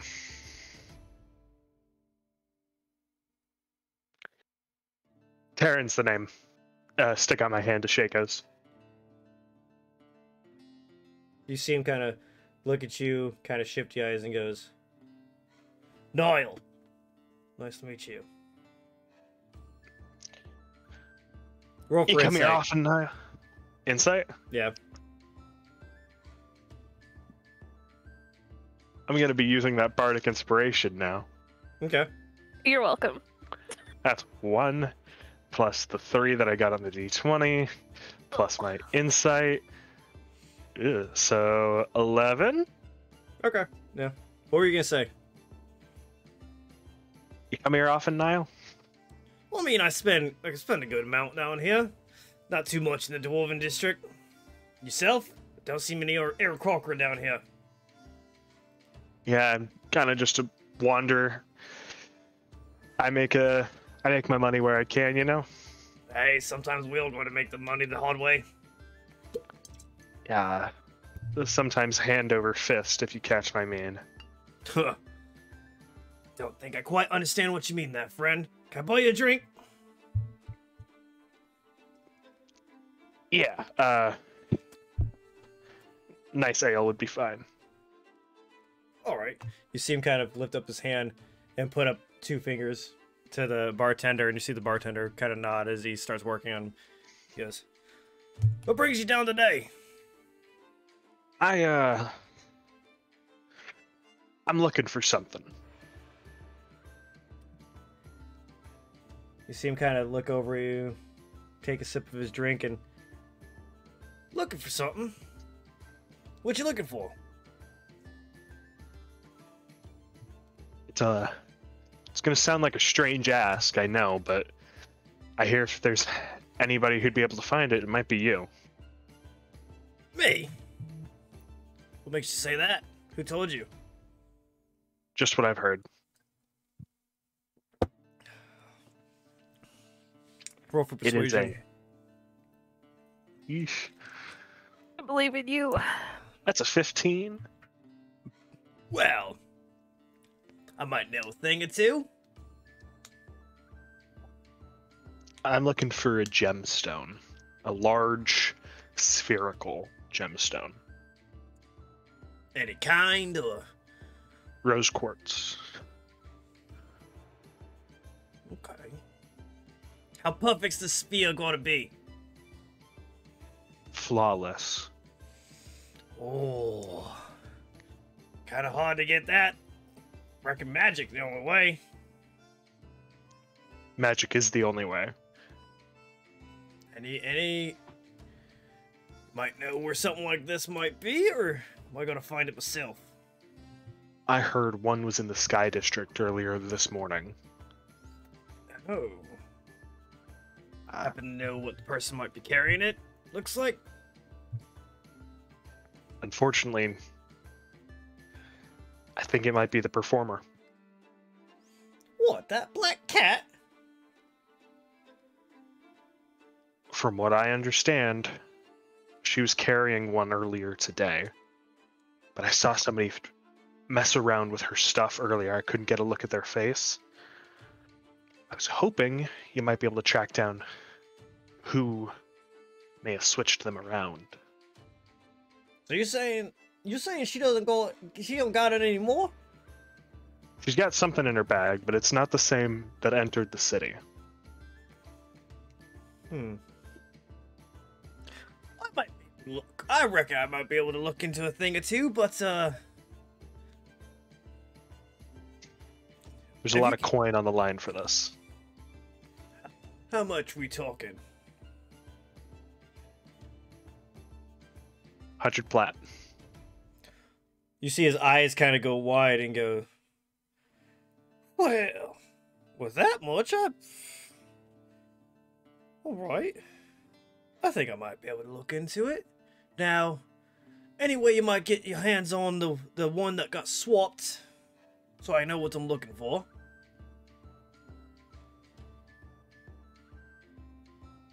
Yeah, I think I could probably grab it for you. You bring it to me, I'll, I'll, I'll go take an eye out, see what I can find. Now, I doubt the performer is going to take kindly to us grabbing her bag and whatever's inside of it. So I'll grab it, I'll let you take a look at it, and I'll throw it back there.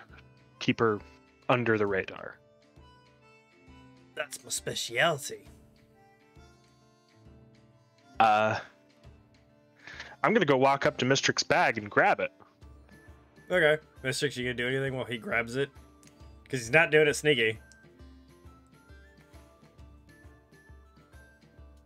Hold on, hold on. That's that's a that's a question for intelligence cat. Uh no. She's Okay. literally she is too into talking to the menagerie of musical declined people. Okay. So easily enough, you just grab it. No one seems to really Just so you know, guys, that was in that one. drink. I did not intend for that, but uh yeah. Cheers.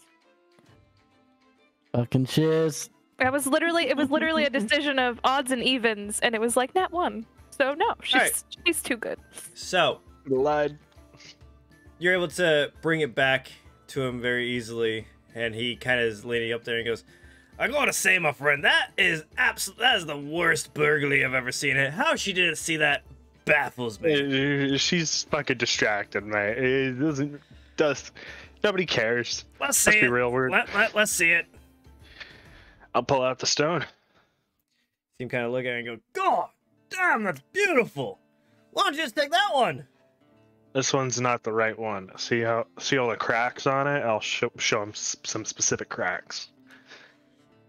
And you you saying the other one that she got to go traded down doesn't have those? Fucking flawless. You said for a hundred plat, right? Hundred plat. Right, Meet me back Earlier, I here. could- Meet me back here tomorrow morning. I think I, I I'll see if I can find something. I'll walk fast, friend. If you can get it here by tomorrow morning, there'll be a tip in it for you as well. I'll I'll I'll, I'll, tr- I'll do my best. All right. All right, and I guess you're gonna go put it back. Yeah, I'll just throw the bag back where I got it. It's just over the crowd.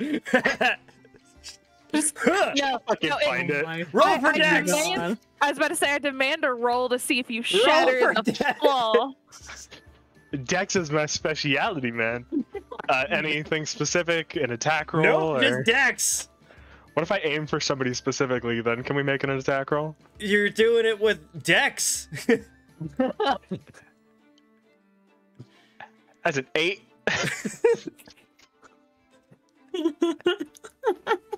hey, hey, Mystrix, When I does it throw it, it's just like does I just like throw it back over there, not like throw it back over there.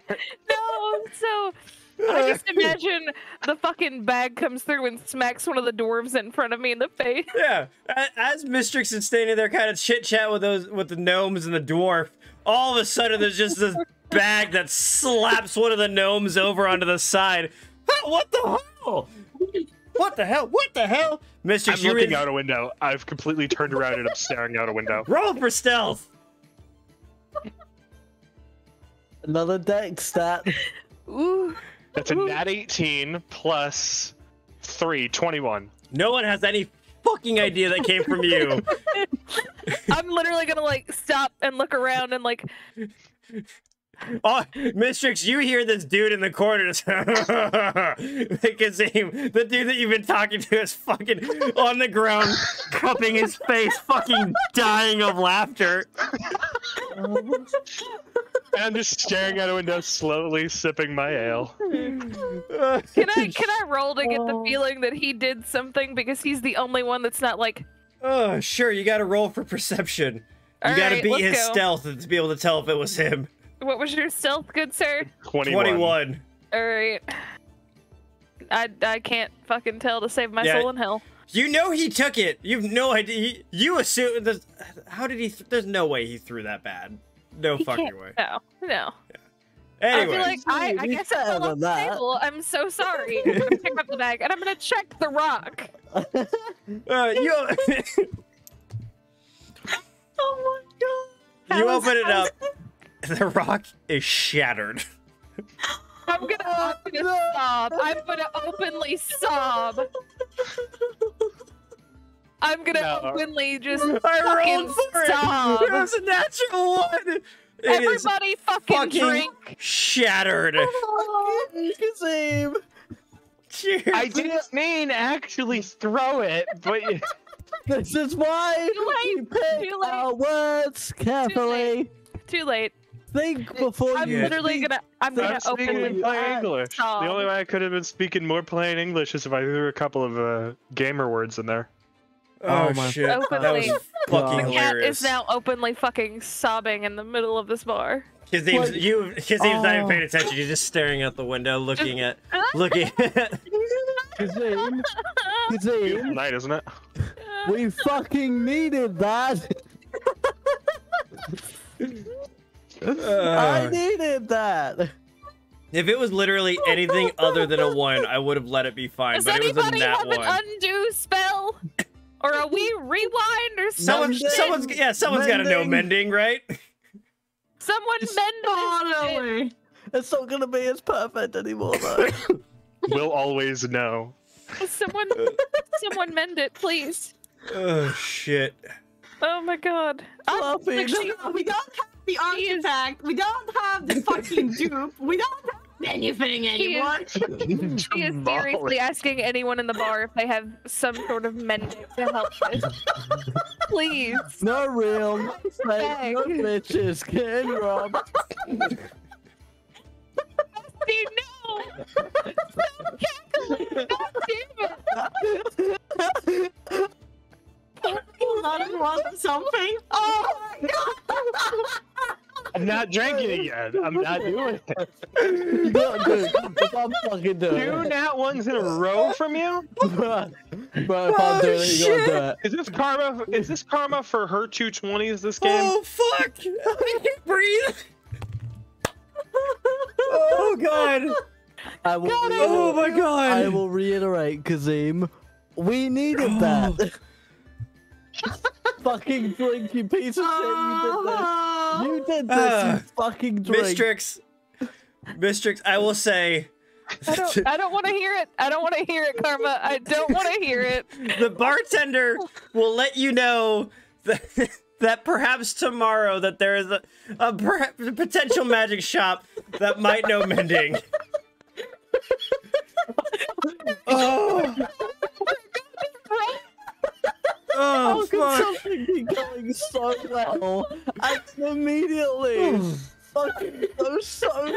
We were Oh, God. We were doing so well. Me and Nika were making It was progress. going. Mystrix has put on one hell of Can a I- fucking show. Can I? Can I do healing word on the rock, please? Last Oh my resort. I want to heal. It's not a creature, so no, but oh shit. Okay. I'd, li- I'd I'll- to cast I'll- Wish. I'll let you try. It's just sitting there trying to heal it.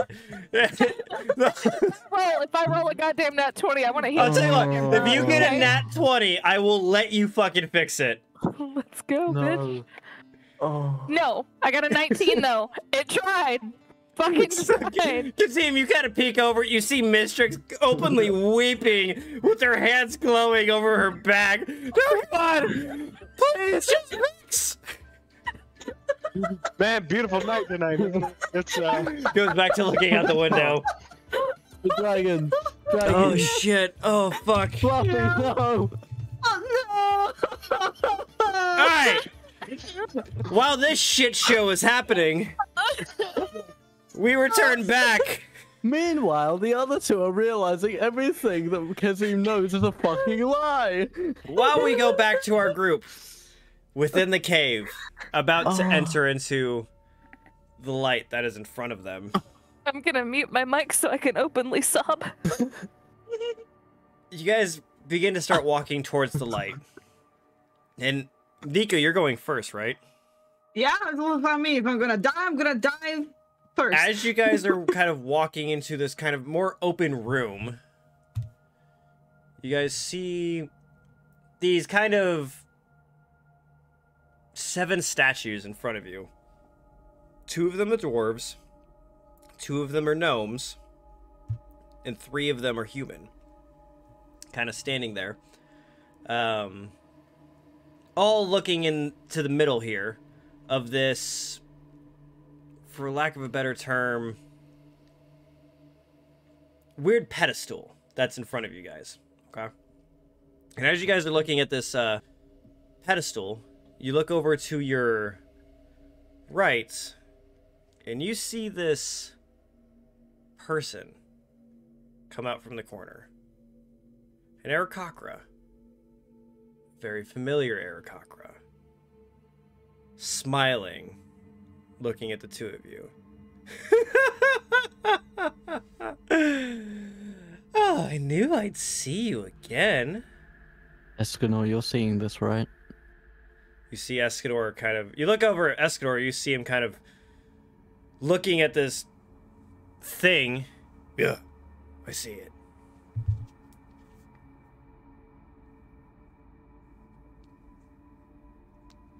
Uh, ready for round three? Oh. Welcome back, friend. Oh, friends. I've just come with simple questions. I'm looking for something that which belongs to me. Hopefully you know where it is. I'd hate to hope Yeah. I'd hate to see this go bad. Yeah, I do. The glaive's right here, and it's ready for your fucking skull. And Nico, you'll see Silus is fucking angry right now. Silus, Roll for Constitution. I'm not raging. I'm just angry. Okay. Okay. So So like, this is the guy that took everything from me. I'm not Yep. a happy chappy. you are you you uh see him kind of simply go, "Well, I feel like someone's got to ask it. Where's my rock?" We'll tell you where yours is if you tell us where ours is. You don't have a rock. Where's the one that's mine? And he kind of points over to the empty pedestal that's in front of you. And as you guys kind of look closer at it, you see that there's this uh it looks like it's kind of think of a ring kind of holding in a stone. It looks like one of those, but it's been bent out and it's empty on the inside. Where is it? If he doesn't have it, and we don't have it, then who the fuck has it? I whispered to Silas. That's what I'm worried about. Silas, make a const- make a wisdom saving throw. You motherfucker. I think you have that. You have that necklace, don't you? Yep, I Make sure- do, and I'm tempted to use it. Um, can I can I use the charge after I see the result of the roll? I'll allow it. I mean, if I if I have to use it before, Yeah. I'll use it. I'll allow it. All right. That's a nat twenty. I'm taking a picture because Fuck. All right. Fuck him up, Zephy. Fuck him up. It's a good thing we have only got like 15 minutes left. Otherwise, this would get real fucking difficult. look again. You did this to your damn self. I sure did. I put these rules upon myself. So We were happy to go sober D and D, but you're like, now let's make it interesting. I want to be different and cool and quirky. I mean, tell me you're not having fucking fun. I'm fucking terrified. Good. As you are kind of you you look over at Nico and go, I have no fucking idea. You you both notice his eyes flash, that very familiar kind of purple flash. And uh Silus, you feel this kind of feeling creeping in your mind, but you're very easily able to kind of push it back, almost like you're getting accustomed to it at this point. Oh. Someone doesn't want to let me in? Do you know something, Silus? I know a lot of things. I know that Tharizdun is trying to escape. I know that, know it or not, you're playing a, playing a part in this plan. I know what you're capable of. And I know that one of these days you're gonna walk into a room with me and you're not walking out. Again, you hear this. Threats? Tribalists? You think you're in the position to make threats? No. I promise you, when I'm done with you, you will have nothing but a head, nothing but eyes and ears. I will drag you through the streets, and you'll get to listen to all the little boys and girls laughing at how pathetically weak you are. I will make sure that you feel every second of pain you put Rogan through. There's a 22 hit. Yep. Please take 15 points of slashing damage. I can eat that for fucking breakfast, mate. As you are saying Rogan's name, all of a sudden, Nico, you notice this too, that one of his arms kind of bend up a little bit and shoot out in this straight razor sharp blade, cutting right across uh, Silus's kind of in bet- right here, underneath his armpit, in between his arm and his chest, and a deep gash kind of opens up and splurts out. Nico, How far away is he? Very Uh, quickly. I can show you. Fucking lovely. oh, that doesn't bode well. Just, just so, just so I have. Yeah. Uh-huh. Uh, it should have br- brought you guys over. Oh, I need to get you guys. Let me set this up so that, that is Guessing that's you him. control that, and then you can control that. That's you guys. Uh, and Nico, if you can make a Wisdom saving throw for me. Let's see. Wisdom? Wisdom, please. Okay, okay. That's pretty good. Uh let's see. Uh 20 dirty 20. So you guys, uh, after you see this kind of blade kind of shoot out towards him, towards uh Silus, you kind of see him quickly turn his head towards Nico and start giggling again. and his eyes flash again. And Nico, you start feeling that kind of weird feeling, almost like his fingers are digging through your brain, almost searching for something. And you're able to push it back. He's not able to fight, and he goes, both of you have something to hide. Interesting. Uh Uh-oh. oh.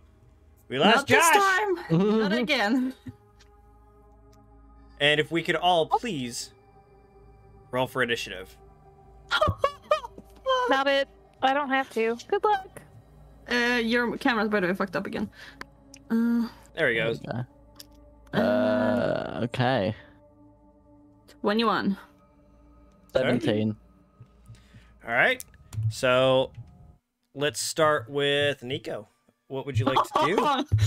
yeah, and just a reminder, we didn't heal from the last fight we had, so it's going kind of pop. Uh, I'm gonna cast false life on myself. Thank you very much. Okay, so as soon as you kind of feel a, that weird feeling kind of creeping through you, you kind of see this blue mist kind of seeping out of that necklace on you and encoding your entire body. Silus, you start seeing that the flesh on Nico's like skin starts to kind of weirdly swell a little bit, but then rot, almost as if like this weird extra couple layers of skin, but it seems to be rotting immediately for some reason.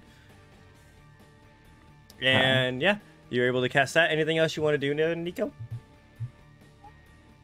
Let's see, the dude is right there, right? Yeah, this this Um, this is the person right here.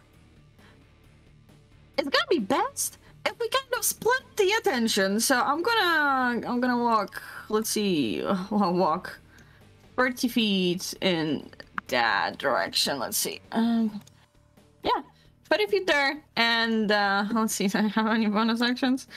Uh, ooh. Let's see. Uh. Okay, has to be close by. Okay, cool. No, I'm gonna, I'm gonna, I'm gonna. That's it. Okay, Uh, for my turn. Silus, what would you like to do? I'd like to use my action to Okay. give the, necklace of wisdom to Escanor Okay, uh, and sort of say, use this to protect yourself. okay, easily enough. Uh, as your action, you're able to see him kind of grab that really quick. Um, so I'll give that to him. Uh, I'd like to use my bonus action to rage. Okay, roll for Constitution. Yep. Um, that's a ten. Meets it, beats it. Fortunately enough, you are um Oh, thank fuck. You are Oh, no. you you start feeling that ra- as soon as you see this face, you feel and you feel the weird creeping in your mind. You feel this rage building up inside you, and you, f- uh, Nico, you see the fire start kind of scorching out of Silus's eyes, and you see him white knuckling his glaive as you see this kind of weird, almost smoke coming from it, but. Silus, you're able to kind of push it down just enough to be able to control it, but just Yep. barely. Yep. And then I'm gonna move to here. I think I'm happy. Uh, I'll move one up. I'll move one closer. I want to be within 20. There we go. So, uh, yeah, and I'll end my turn there. Okay, so what after you after you see kind of Silus run over, you guys see this knight kind of immediately grab that necklace and quickly put it on as a bonus action, and he immediately starts running over to this person and tries to attack him. Oof! That's a nat twenty Do that Fuck thing. yeah. Whoa. Escanor's the MVP. Escanor's the main character. Gnora says, just "Get side bitches. Yeah.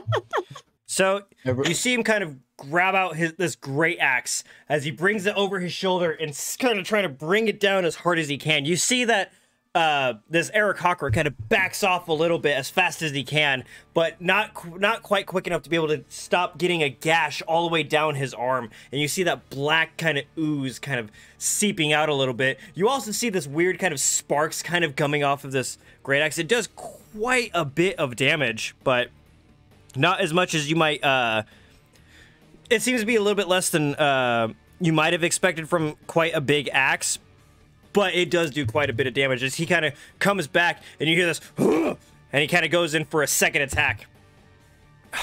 Fuck! That's a nat one y'all. That's a nat one. What a high and a low for that shit. Nat 20 Escanor. so he kind of brings up, but you see that it kind of throws him off a little bit that that he's only able to get a little cut, and as he's trying to bring up another one, he kind of lets go of his axe a little bit and he kind of goes back to go grab it, but he's not able to go make that second attack just anymore. Um, so now it's going to be the doppelganger's turn. Yep. Okay. Ugh. Come on. Okay, and you see that the doppelganger very uh, quickly, as soon as he kind of gets that gash, jumps back a little bit, and you see him move over to this section right here. Just kind of over to his right side, and you see his hand kind of straighten out into this blade as he jabs it up really quickly into this kind of clavicle area around his neck. It doesn't seem to be like deathly dangerous, but it obviously seems to hurt quite a bit. You see blood splat out the back of it, and you see kind of Escanor drop one arm as maybe he kind of wasn't expecting that much damage from it. Um, yeah. Uh, what was that? That one. Yeah, you could tell that he he's bleeding profusely hard. Very, it is a lot of damage in which he took. Uh, next, we're gonna go with Nico. Uh, let's see. I will move additionally, like 30 ish feet, kind of take like half cover, I suppose, like behind the statue. And, um, Nico will, uh, because we both know how it goes being close to that bitch, uh, he will, he will just shoot with an Eldritch Blast. Um, All right, roll for the attack. Let's see. Uh, uh, ooh, that is 19. Well, That hits. Uh, let's see, D10. Uh, that is 10 force damage and 2 fun thunder. Okay, so uh, Silas, as you're standing there, you see Nico kind of running off behind one of the statues, but peek out long enough to be able to throw off one of his uh, Eldritch blasts. You see this blue kind of energy ball running, uh, rocketing towards this doppelganger. As it blasts across the side, you see him kind of turn, looking over at Nico. and you see this kind of weird kind of electricity kind of waving off of him. It, it obviously did something, but again, not nearly as much as you might think. Uh, and next, we're oh, gonna go no. to Silus. All right. Uh, Silus is gonna have to get up all nice and close and dirty with him. Okay. So, gonna be up here on the opposite side, and from what Kazim told us, and I'm gonna hope that his his studies were true, radiant damage makes it hurt. Okay. So, I'm bringing out Tasha's, like the copy of Tasha's axe. Ooh, interesting. Okay. mm. So that's a plus six. Uh oh, that's not. No, that's a twelve. I don't think that's gonna hit. That does not hit, unfortunately. Damn it. Uh, in which case, do I have anything I can do? Ah, there's, there's nothing I can do. So I'm just gonna, I'm just gonna end my turn. Um, hmm. Potions are they action or bonus action? Your Bonus rules? action. But you know what? I th- I'm gonna take the healing potion just to be safe. All right, you can do the uh, roll yourself if you'd like. Cool, cool, cool. It's a one and a four. That's Plus, I mean, it's better than nothing, right? yeah. Well, I mean, yeah. Absolutely. So I'll tell that works. Okay, and I'll end my turn there. So as this kind of doppelganger is looking over at Nico, you see Silus kind of behind it, but unfortunately, he tries to slash down with the hand axe, but it seems like there's kind of glance off of this weird fleshy kind of material that he's using his his body. It seems much harder than it should be, and it just seems to glance off with no real deal. And he's sitting at uh, looking at Nico. Nico, make a wisdom saving throw. Oh, no. Oh, Nico. Uh, 22 total. So you again, you feel, you see that flash, and you feel this kind of creeping feeling going towards the front of your brain, but you're able to push it back just, just right. And he goes, "Oh, don't shut me out forever." and it's gonna be the knight's turn. He's gonna try and attack with his great axe again. He's gonna go for the swing, but the, the doppelganger is able to kind of jump out of the way just enough to be able to dodge that uh, attack. He's gonna, but the uh, the Escanor is gonna go for one more as he kind of brings it down from the ground and slash up with his great axe. He's able to actually connect with him, and you see this again. He gets a very good strike up against the side right here. And clips off, clips his ear, and you see a little bit kind of fall off. But weirdly enough, you see kind of reconstitution against that ear. Uh, minus that's and you see the doppelganger doesn't pay any notice to it, but you do see that he's got another black ooze kind of coming down his side over here, and it's going to be the doppelganger's turn. He is going to use. Let me see real quick. Make sure I've got enough here. Right there. I just have a thought. Oh no! Uh, so you guys have so Escanor is going to take his attack of opportunity, but he missed. Silus, you do get an attack of opportunity. All right, nice. Oh, that's a 24. So you do manage to hit just Ooh. before. You don't have Sentinel, do you? I do not have any feats yet. okay, so no. go ahead and roll for damage. So you don't stop him from moving, but you were able to get a good hit on him. Yeah. Uh, da, da, da, I need to. Uh, where first you hit on each? It's not my turn, so I can't do that. Yeah, it's not an action. Um, yeah, no, I was looking at Divine Fury, but I'll use a charge, okay. which will give me a D6 of radiant damage on top of the slashing damage. 'Cause fuck you, I remember your weakness. So that is uh five, six, seven, eight, nine slashing and one radiant. okay, so as you uh as he's trying to walk away, Nico, you see that Silus is able to kind of slash to the side and able kind of dig it into his arm a little bit. It kind of dangles down a little bit before you see it kind of come back together. Uh, but you do see that there's some sizzling and bubbling at the where his wound was. It does a little bit more damage than you might have actually expected it to do. Um, and Nico, if you can go ahead and make another wisdom saving throw for me.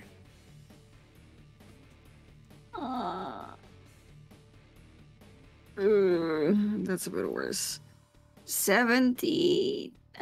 Okay, so you you feel again, you feel that weird creeping feeling in front of your brain kind of coming towards you, but again you're able to push it back just barely. But as you kind of able to push that back, does a 17 hit you? Mm-hmm, mm-hmm. yeah, yeah, it was. Please take 14 slashing damage. Okay, okay.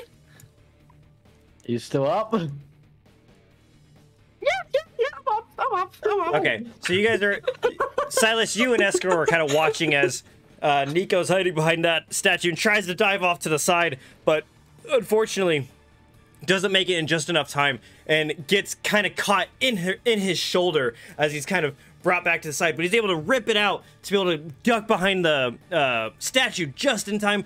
He takes a, quite a bit of damage, but he still seems to be doing okay. As we go into Nico, it's your turn. he seems to be doing okay. I can, I can tell you that it's not how it looks. Uh, I'm gonna like a bonus action drink that potion of healing. Okay, go ahead. Um, yeah. I'm gonna just roll it on fucking D and Beyond. uh, much easier. Um, that's seven points of healing. uh, yeah, cool, cool. Um, I will. Man, fuck, that's not good. Ah, you know what? Nico will. Okay, cool. Fuck you, bitch, and fuck this, and I will turn invisible. Okay, so you turned invisible. yeah, I cast invisibility on myself. And uh, yeah, for my movement, I'll fuck off somewhere else.